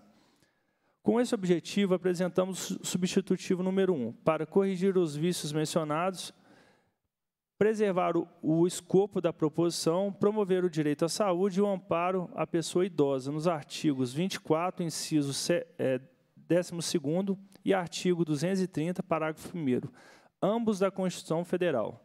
E, tendo em vista o princípio da consolidação das leis, inserimos na Lei 16.279, de 2006, o direito ao atendimento é, psicológico das, das visitas familiares de famílias que tenham pessoas idosas. Conclusão. Diante do exposto, concluímos pela constitucionalidade, juridicialidade e legalidade do projeto de lei 133 de 2023, na forma do substitutivo número 1, a seguir apresentado. Substitutivo número 1 altera a Lei 16.279, de 26 de abril de 2006, que dispõe sobre os direitos dos usuários das ações e dos serviços públicos do Estado, de saúde do Estado. A Assembleia Legislativa de Minas Gerais decreta, artigo 1 fica acrescida ao caput do artigo 2 da Lei 16.279, de 20 de julho de 2006, o seguinte inciso, é, 27 Artigo 2 27 Tem atendimento psicológico nas visitas domiciliares de famílias que tenham pessoas idosas quando necessário. Artigo 2 Essa lei entra em vigor na data de sua publicação. Esse é o parecer. O parecer está em discussão. Não havendo discussão, o parecer está em votação. Os deputados que o aprovam permaneçam como se encontram. Parecer está aprovado. Projeto de Lei número 205 de 2023, primeiro turno, autoriza o Poder Executivo a doar ao município de Paracatu o imóvel que especifica, de autoria da deputada Marli Ribeiro, relatoria do deputado Tiago Cota. Indaga ao relator se está em condição da emissão do parecer. Em condições, presidente. Com a palavra, deputado Tiago Cota. Requerimento, excelentíssimo senhor presidente da Comissão de Constituição e Justiça, o deputado que subscreve requer a vossa excelência, na condição de relator do projeto de lei 205 de 2023, de autoria da deputada Marli Ribeiro, que autoriza o Poder Executivo a doar ao município de Paracatu imóvel que especifica, requer a vossa excelência, nos termos do artigo 301 do Regimento Interno, seja a proposição baixada em diligência. O requerimento está em votação. Os deputados que o aprovam permaneçam como se encontram. O requerimento está aprovado. Projeto de Lei número 237, 2023, primeiro turno, autoriza o Poder Executivo a reverter o imóvel que especifica o município de Vermelho Novo e dá outras providências. De autoria da deputada Ione Pinheiro, relatoria do deputado Zela Viola. Indaga o relator se está em condição da emissão do parecer. Em condições, senhor presidente. Com a palavra, deputado Zela Viola. Deputado que se subscreve na condição de relator do projeto de lei número 237 de 2023, de autoria da deputada Ione Pinheiro, que autoriza o Poder Executivo a reverter o imóvel que especifica o município de Vermelho Novo e dá outras providências, requer a Vossa Excelência, nos termos do artigo 301 do Regimento Interno, seja proposição baixada em diligência. A Secretaria de Estado de Governo para que informe esta Assembleia sobre a situação efetiva do imóvel e se há algum óbice a transferência de domínio pleiteada, e a autora para que apresente a escritura pública referente ao bem detalhado no artigo 1 do projeto, com o propósito de verificar se a destinação do imóvel e a cláusula de reversão previstas na Lei Municipal número 321 de 2010 foram pactuadas naquele documento. Este é o parecer. O requerimento está em votação. Os deputados que o aprovam permaneçam como se encontram. O requerimento está aprovado. Projeto de Lei 285 de 2023, primeiro turno, reconhece como de relevante interesse cultural do Estado a Festa Nacional do Café do município de Patrocínio, de autoria da deputada Maria Clara Marra, relatoria do deputado Charles Santos. Indago ao relator se está em condição da emissão do parecer. Em condições, presidente. Com a palavra, deputado Charles Santos. De autoria da deputada Maria Clara Marra, projeto de lei 285 de 2023 reconhece como de relevante interesse cultural do Estado a Festa Nacional do Café no, do município de Patrocínio, artigo 1 a ser realizada no mês de abril em referência ao aniversário da cidade de Patrocínio, parágrafo único do artigo 1 No tocante à competência para legislar sobre a matéria, o artigo 24, inciso 7 da Constituição da República, confere à União, aos Estados e ao Distrito Federal competência concorrente para legislar sobre proteção ao patrimônio histórico, cultural, artístico, turístico e paisagístico. Pois bem, senhor presidente, nobres colegas, é necessário mencionar que, recentemente, esta comissão passou a entender que é mais adequado à técnica legislativa reconhecer a relevância do bem cultural no âmbito estadual. Isto porque, como se sabe, a legislação federal dá sentido específico à terminologia declaração de patrimônio cultural, relacionando-a ao conceito de um ato administrativo que descreve, registra e estabelece salvaguardas jurídicas a um bem cultural. Este vem sendo o entendimento desta comissão. Assim, com a finalidade de aprimorar a redação do projeto e impedir eventual alegação de ofensa ao princípio constitucional da separação e independência dos poderes, já que a declaração como patrimônio cultural depende de análise e deliberação dos órgãos de proteção ao patrimônio cultural, apresentamos o substitutivo número 1, que reconhece a relevância da manifestação popular no território estadual.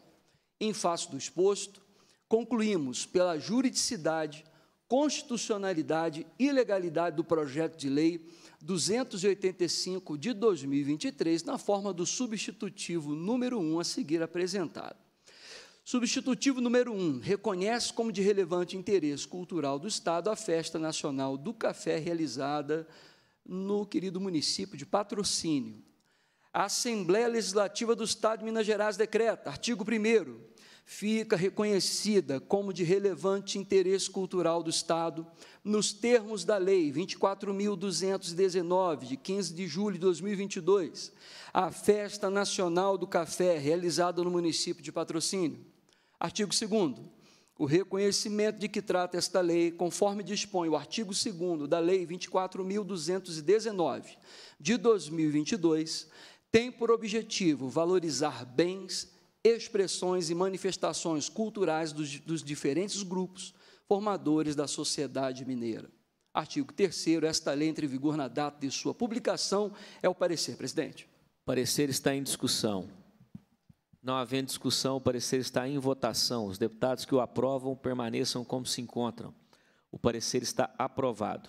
Projeto de lei número 426 de 2023, primeiro turno autoriza o Poder Executivo a alienar onerosamente o imóvel que especifique e dá outras providências, de autoria do deputado Raul Belém, relatoria deputado Charles Santos. Indago ao relator se está em condição da emissão do parecer.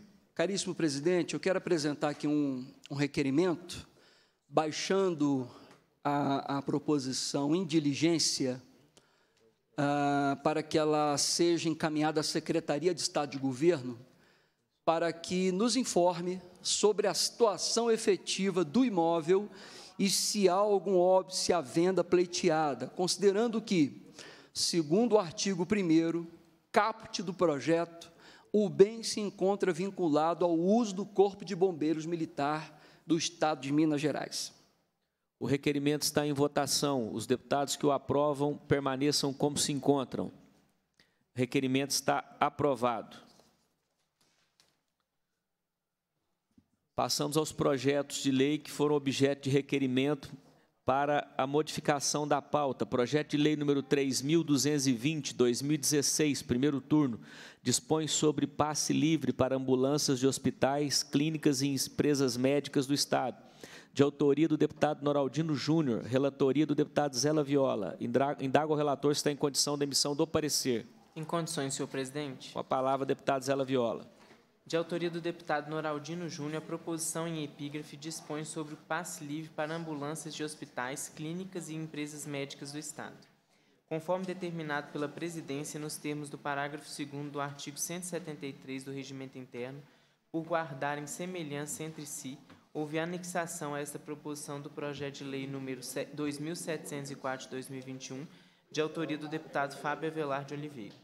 A proposição em exame prevê que ficam as concessionárias exploradoras de pedágio situadas no estado de Minas Gerais obrigadas a conceder passe livre às ambulâncias de hospitais, clínicas, empresas e similares, conforme determina o inciso 7 do artigo 29 do Código de Trânsito Brasileiro.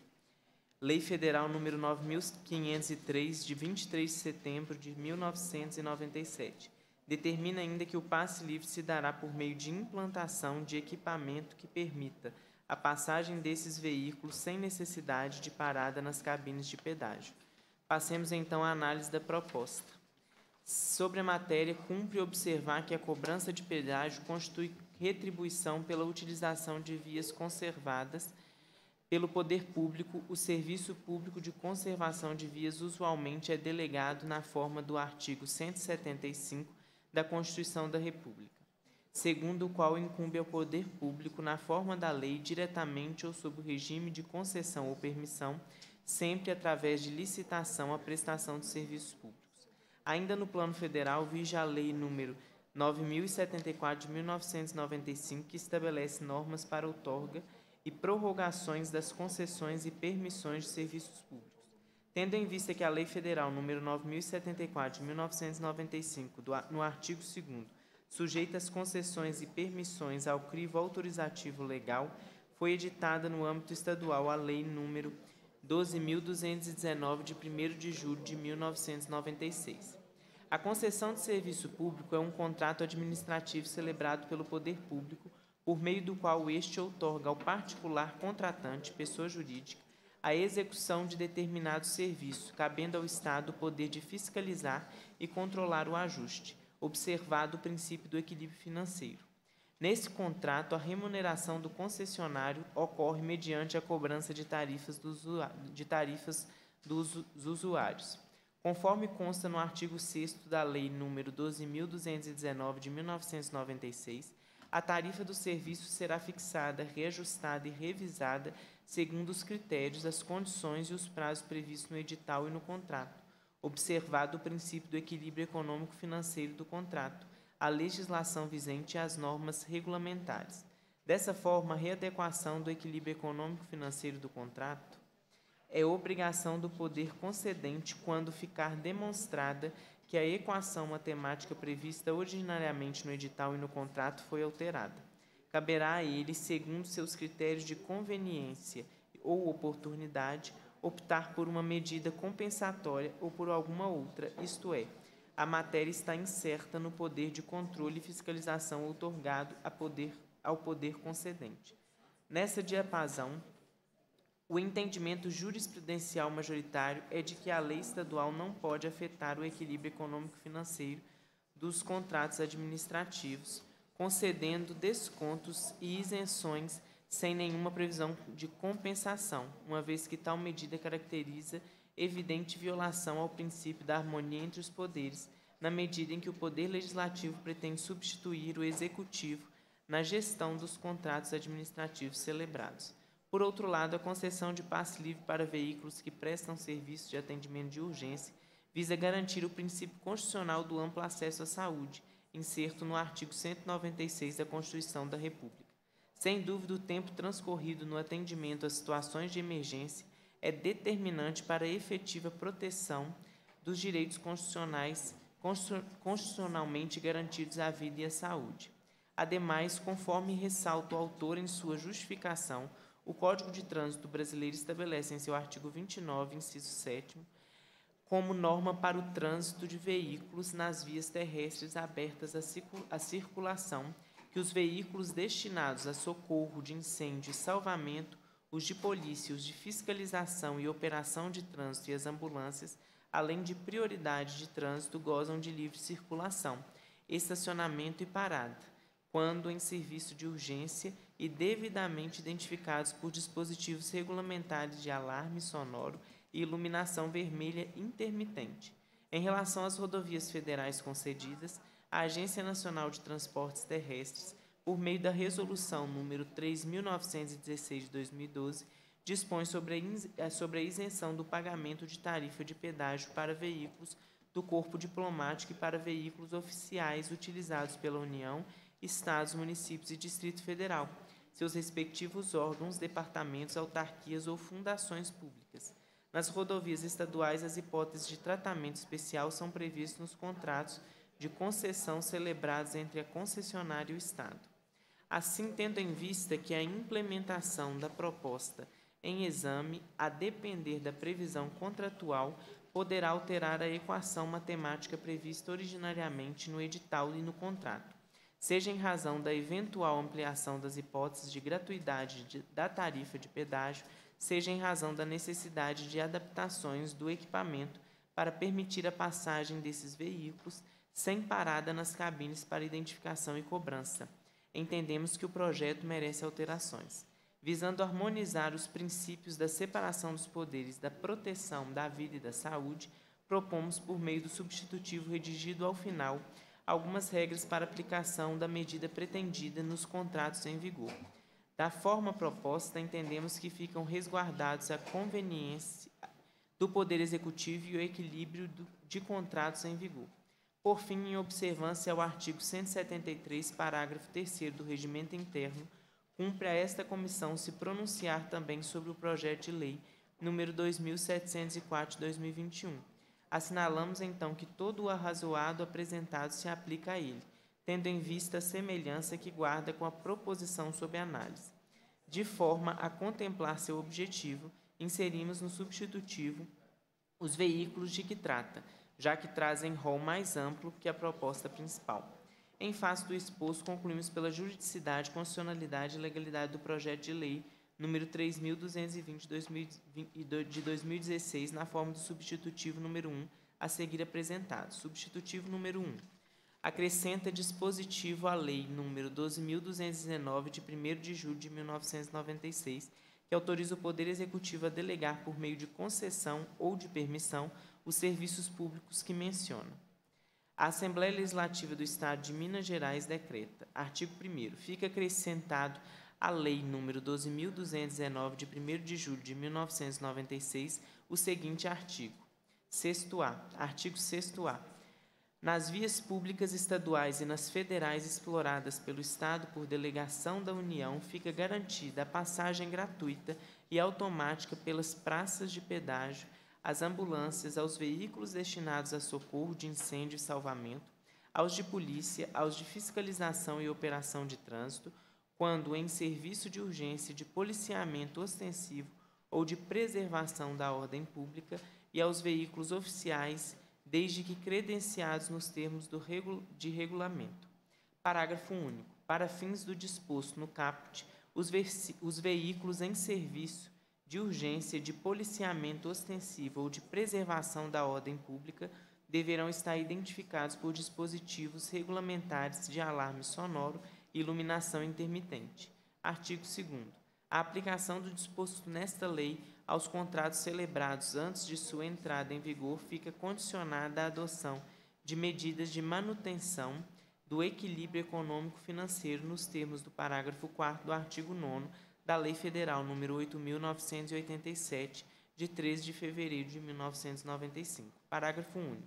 Cabe ao poder concedente decidir acerca da conveniência e oportunidade da aplicação do disposto nesta lei aos contratos já em curso, avaliando o impacto orçamentário das medidas de recomposição do equilíbrio econômico-financeiro.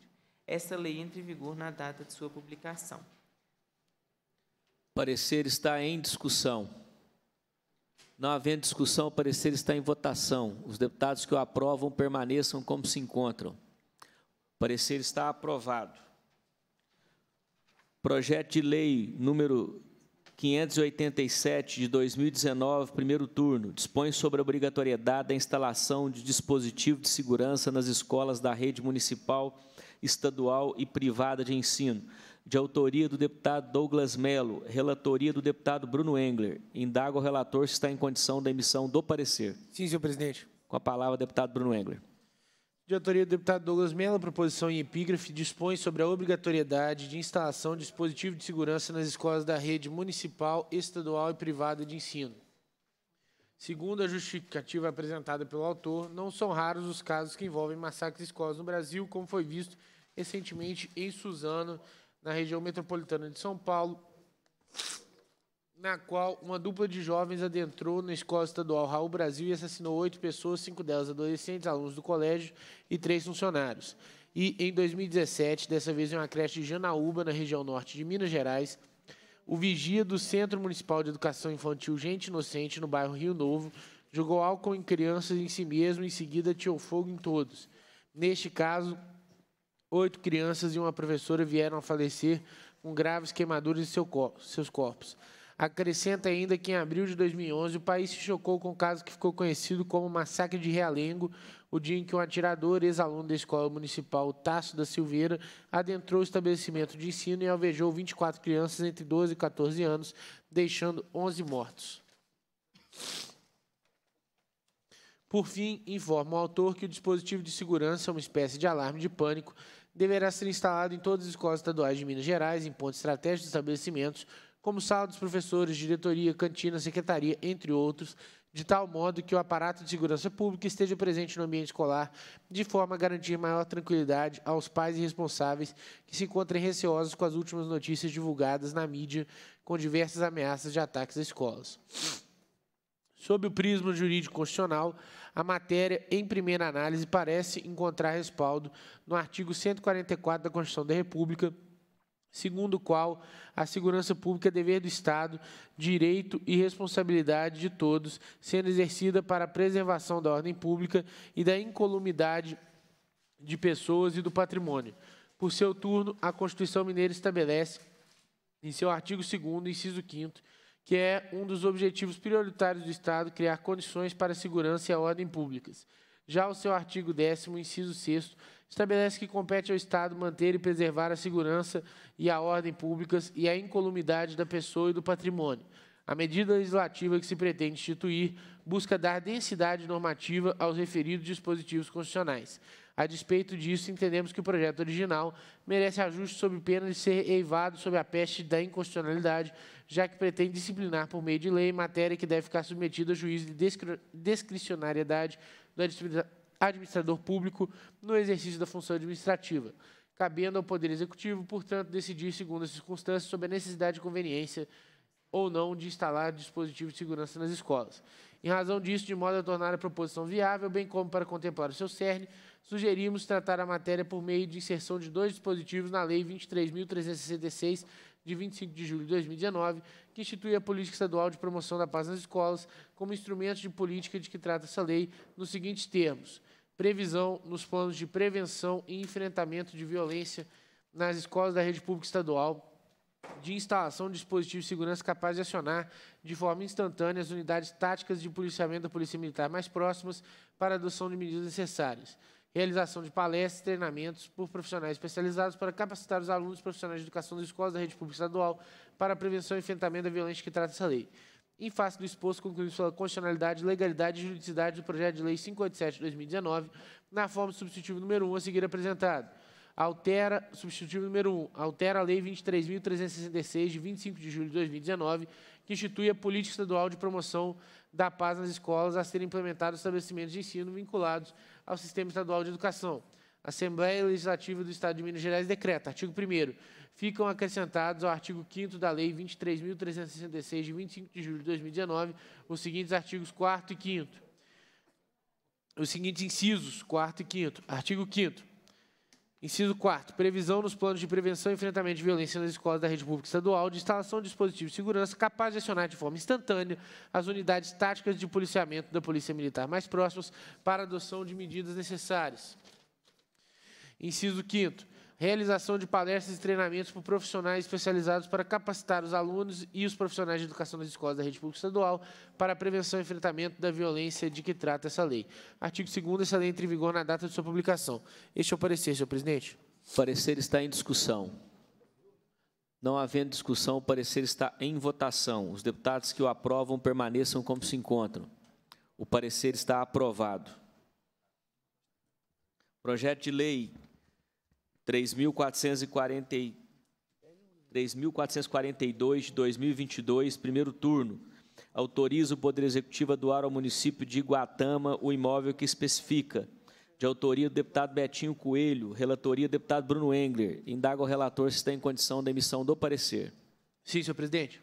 Com a palavra, deputado Bruno Engler. De autoria do deputado Betinho Pinto Coelho, projeto de lei epígrafe autoriza o Poder Executivo a doar ao município de Iguatama o imóvel que especifica.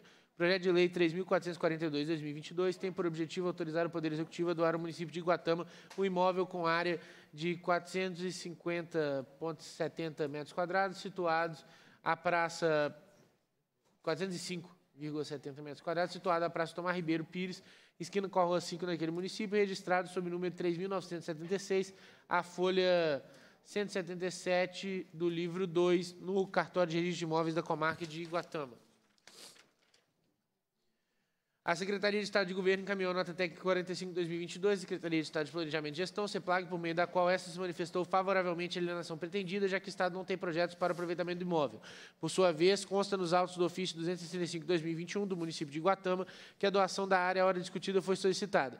Assim, embora não haja Óbvio, a tramitação da matéria em análise, apresentamos o final deste parecer, o substitutivo número 1, com a finalidade de adequar o texto à técnica legislativa, bem como alterar os dados à certidão cartorária do imóvel, pois Nela há a averbação atualizando seu endereço e sua área para o montante de 390,28 metros quadrados. Em face do exposto, concluímos sua juridicidade, constitucionalidade e legalidade do projeto de lei 3.442 na forma substitutiva número 1 a seguir redigido. Substitutivo número 1. Autoriza o Poder Executivo a doar ao município de Guatama imóvel que especifica a Assembleia Legislativa do Estado de Minas Gerais decreta fica o Poder Executivo autorizado a doar ao município de Guatama o imóvel com área de 390,28 metros quadrados situado à rua número 8, número 200, a rua 8, número 246 naquele município registrado sob o número 3.976 a folha 177 do livro 2N do cartório de registro de imóveis da comarca de Guatama. Parágrafo único. O imóvel que se refere ao caput destina-se ao desenvolvimento das atividades e programas de assistência social. Artigo 2 Imóvel de que trata essa lei reverterá o patrimônio do Estado se fim do prazo de cinco anos contados da lavratura da escritura pública de doação não lhe tiver sido dada a destinação prevista no parágrafo único do artigo 1 Artigo 3 essa lei entra em vigor na data de publicação. Este é o parecer, senhor presidente. O parecer está em discussão. Não havendo discussão, o parecer está em votação. Os deputados que o aprovam permaneçam como se encontram. O parecer está aprovado. Projeto de lei número 3.443 de 2022, primeiro turno, autoriza o Poder Executivo a doar ao município de Guatama o imóvel que especifica. De autoria do deputado Betinho Pinto Coelho, relatoria do deputado Bruno Engler. Indaga o relator está em condição de emissão do parecer. Sim, senhor presidente. Com a palavra, deputado Bruno Engler. De autoria do deputado Betinho Pinto Coelho, projeto de lei epígrafe autoriza o Poder Executivo a doar ao município de Guatama imóvel que especifica. O projeto de lei 3.443 de 2022 tem por objetivo autorizar o Poder Executivo a doar ao município de Guatama um imóvel com área de 5.050 metros quadrados situado na rua 5, número 857, bairro Pio 12, naquele município, registrado sob o número 2123 da folha 84 do livro 2 no cartório de registro de imóveis da comarca de Guatama. A proposição estabelece que o bem destina-se ao abrigo da sede da Prefeitura Municipal de Guatama. A Secretaria de Estado de Governo encaminhou nota técnica 67 de 2022 da Secretaria de Estado de Planejamento e Gestão, por meio da qual essa se manifestou favoravelmente à alienação pretendida, uma vez que o Estado não tem projetos para aproveitamento do imóvel. Ressalto-se que a Prefeitura Municipal de Guatama apresentou o ofício 266 de 2021, que solicita a operação hora discutida. Assim, embora não haja óbvio de tramitação da matéria em análise, apresentamos o sinal dos pareceres, substituto número 1, com a finalidade de adequar o texto técnico legislativo, bem como alterar dados relativos à matrícula do imóvel.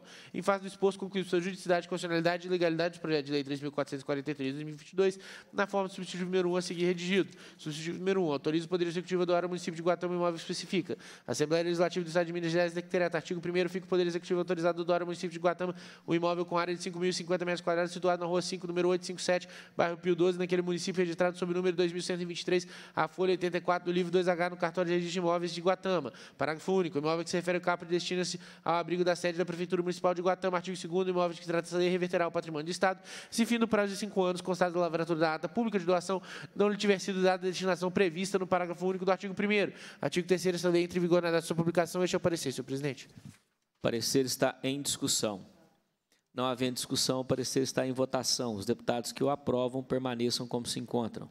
O parecer está aprovado. Vou passar a presidência ao deputado Bruno Engler do projeto de lei número 3.590 de 2022, primeiro turno, tendo em vista que eu sou autor do projeto. Perfeitamente, senhor presidente. Parecer para o primeiro turno do projeto de lei 3.590 de 2022, de autoria do deputado Arnaldo Silva, o projeto de lei EPRIGF tem por objetivo autorizar o Departamento de Edificações e Estradas de Rodagem do Estado de Minas Gerais a doar ao município de Campo Florido os imóveis que especifica. Trata o projeto de lei 3.590 de 2022 de autorizar o Departamento de Edificações e Estradas de Rodagem do Estado de Minas Gerais a doar ao município de Campo Florido os seguintes imóveis situados na Avenida JK neste município, registrados no livro 2 do cartório segundo ofício de imóveis da comarca de Uberaba. Imóvel com área de 3.395,74 metros quadrados, registrado sob o número 20.270. Imóvel com área de 6.012,14 metros quadrados, registrado sob o número 2.271. Imóvel com área de 4.219,65 metros quadrados, registrado sob o número 20.272. O parágrafo único do artigo 1 da proposição estabelece que os bens serão destinados à prestação de serviços públicos. Cabe sublinhar que o prefeito de Campo Florido, por meio do ofício 2520-2021, manifestou a aquisência do município à doação proposta, indicando que os imóveis serão utilizados para a construção de uma oficina mecânica de uso da prefeitura e para a instalação de equipamentos públicos. A Secretaria de Estado de Governo, por sua vez, enviou o ofício 781-2022 da Secretaria de Estado de Infraestrutura e Mobilidade, encaminhando a nota técnica 126-2022 da DRMG, em que este departamento se pronuncia favoravelmente à alienação pretendida.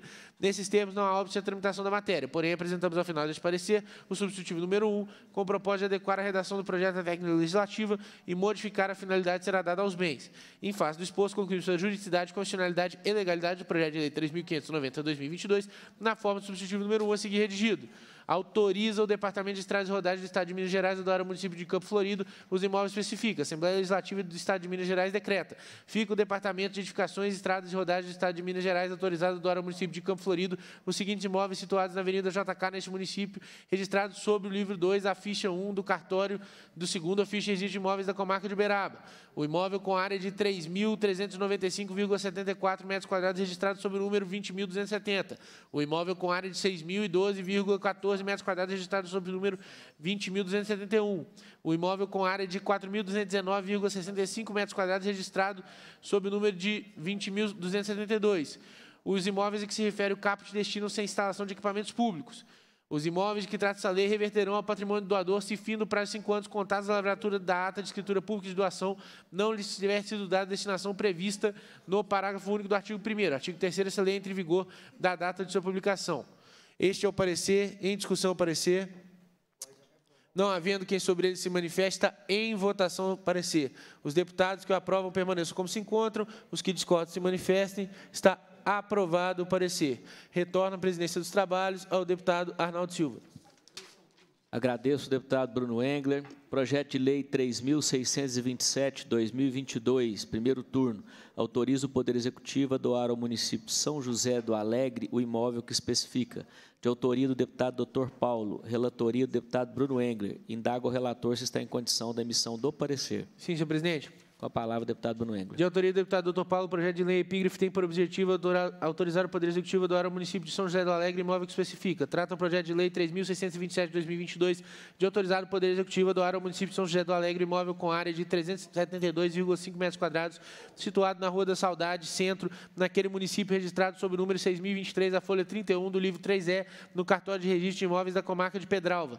O parágrafo único do artigo 1 da proposição estabelece que o bem será destinado ao funcionamento de uma unidade básica de saúde.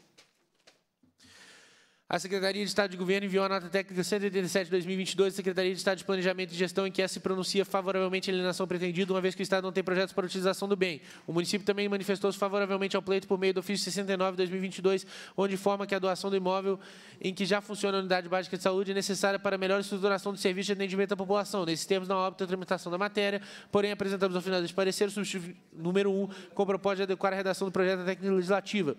Em face do exposto, concluiu sua juridicidade, constitucionalidade e legalidade do projeto de lei 3.627 de 2022, na forma substitutiva nú- número 1 a seguir redigido. Autoriza o Poder Executivo a doar ao município de São José do Alegre imóvel que especifica. Assembleia Legislativa do Estado de Minas Gerais decreta. Fica o Poder Executivo a doar autorizado a doar ao município de São José do Alegre imóvel com área de 372,50 metros quadrados, situado na Rua da Saudade, naquele município registrado sob o número 6.023, a folha 31 do livro 3E no cartório de registro de imóveis da comarca de Pedralva. Parágrafo único. O imóvel que se refere ao capo de destino e funcionamento de uma unidade básica de saúde. Artigo 2 Imóvel que trata essa lei reverterá o patrimônio do doador se fim do prazo de 5 anos contato da lavratura de escritura pública de doação não lhe tiver sido dada a destinação prevista no, artigo, no parágrafo único do artigo 1 Artigo 3 Essa lei entra em vigor na data de sua publicação. Este é o senhor presidente.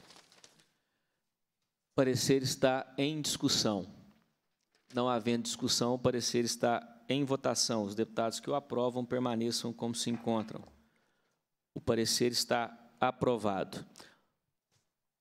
Passa-se a segunda fase da ordem do dia, que compreende a discussão e a votação de proposições que dispensam a apreciação do plenário.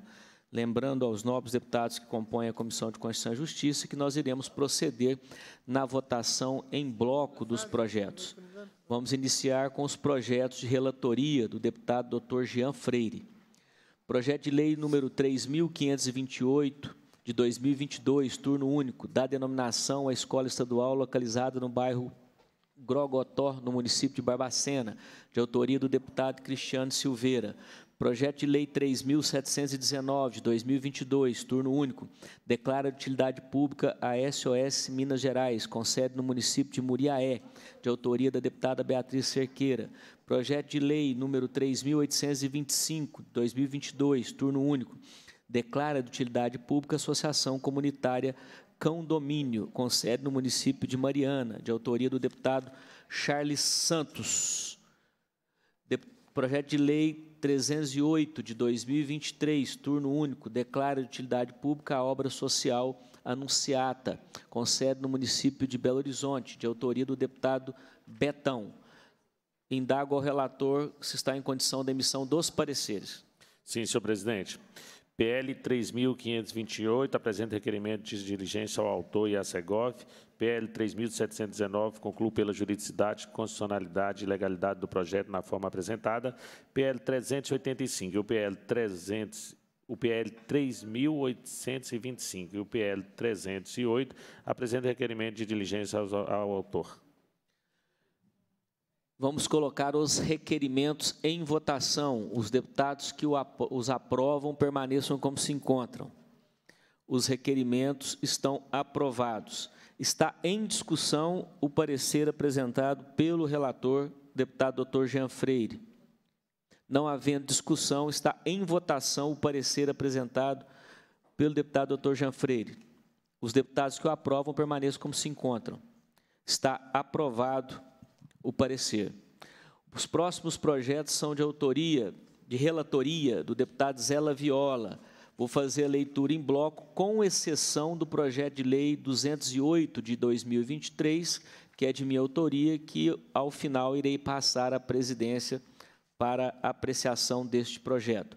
Projeto de lei número 3.576 de 2022, turno único, da denominação rodovia LMG 721, que liga os municípios de Capelinha e Angelândia, de autoria do deputado Duarte Bechir. Projeto de lei 3.729 de 2022, turno único, declara de utilidade pública a Associação Comunitária Quilombola da Comunidade de Espinho, com sede no município de Gouveia, de autoria do deputado Roberto Andrade. Projeto de Lei 3.786, de 2022, turno único, declara de utilidade pública o Grupo Escoteiro do Ar Guardião da Mantiqueira, 160, e- 160 MG, com sede no município de Barbacena, de autoria do deputado Dorgal Andrada. Projeto de Lei 3.928, de 2022, turno único, declara de utilidade pública a Arca de Noé, Associação de Proteção Animal, com sede no município de Várzea da Palma, de autoria da deputada Rosângela Reis. Projeto de lei número 200 de 2023, turno único, declara de utilidade pública a Associação Artesanal de Cabo Verde, com sede no município de Cabo Verde, de autoria do deputado Antônio Carlos Arantes. Com a palavra o deputado Zela Viola. PL 3.576 de 2022, de autoria do deputado Duarte Bexir, concluo pela juridicidade, constitucionalidade e legalidade do projeto na forma do substitutivo número 1. O parecer está em discussão. Não havendo discussão, o parecer está em votação. Os deputados que o aprovam permaneçam como se encontram. PLs 3. O parecer está aprovado. Desculpa. PLs 3.729 de 2022, de autoria do deputado Roberto Andrade, e PL 3.928 de 2022, deputado, de autoria da deputada Rosângela Reis, concluo pela juridicidade, constitucionalidade e legalidade dos projetos nas formas apresentadas. E PLs 3.786 de 2022, de autoria do deputado Dorgal Andrada, e PL 200 de 2023, de autoria do deputado Antônio Carlos Arantes, apresenta requerimentos de diligências ao autor, aos autores. Os requerimentos estão em votação. Os deputados que o aprovam permaneçam como se encontram. Os requerimentos estão aprovados. Os pareceres estão em discussão. Não havendo discussão, os pareceres estão em votação. Os deputados que o aprovam permaneçam como se encontram. Os pareceres estão aprovados. Eu passo a presidência do projeto de lei 208 barra 2023, turno único ao deputado Bruno Engler, para apreciação. Zela Viola. Relator, deputado Zela Viola, indago se está apto a emitir parecer. Sim, PL 208 de 2023, de, de autoria do deputado Arnaldo Silva, apresenta requerimento de diligência ao autor. Está em votação, requerimentos. Deputados que aprovam permanecem como se encontram, os que discordam se manifestem. Está aprovado o requerimento. Retorna a presença de trabalhos ao deputado Arnaldo Silva. Agradeço ao deputado Bruno Engler e passo a chamada dos projetos de relatoria do deputado Bruno Engler, também em bloco. Projeto de lei 3.657, 2022, turno único. Declara de utilidade pública o Conselho Comunitário de Segurança Pública, CONCEP, com sede no município de Lagoa da Prata, de autoria do deputado Fábio Avelar. Projeto de Lei 3.853, de 2022, turno único. Declara de utilidade pública Associação Esporte Solidário Gustavo Elias, AESG, com sede no município de Pompéu, de autoria do deputado Inácio Franco. Projeto de Lei 4.019, de 2022, turno único, declara de utilidade pública Associação Cultural de Capoeira Filhos da Terra, com sede no município de Passatempo, de autoria do deputado Glaicon Franco. Projeto de Lei 291, de 2023, turno único, dá denominação ao trecho de rodovia que especifica, de autoria do deputado Raul Belém. Passa a palavra ao deputado Bruno Engler.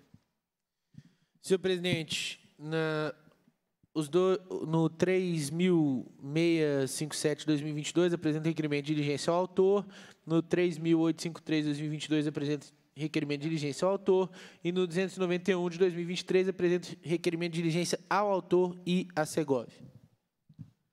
Os requerimentos estão em votação. Os deputados que o aprovam permaneçam como se encontram. Os requerimentos estão aprovados.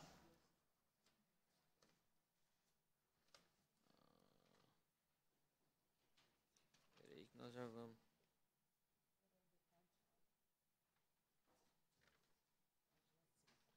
Quero só fazer uma retificação aqui, que eu acabei fazendo a leitura aqui de projetos que são de minha relatoria, mas os de relatoria do deputado Bruno Engler, todos já foram apreciados.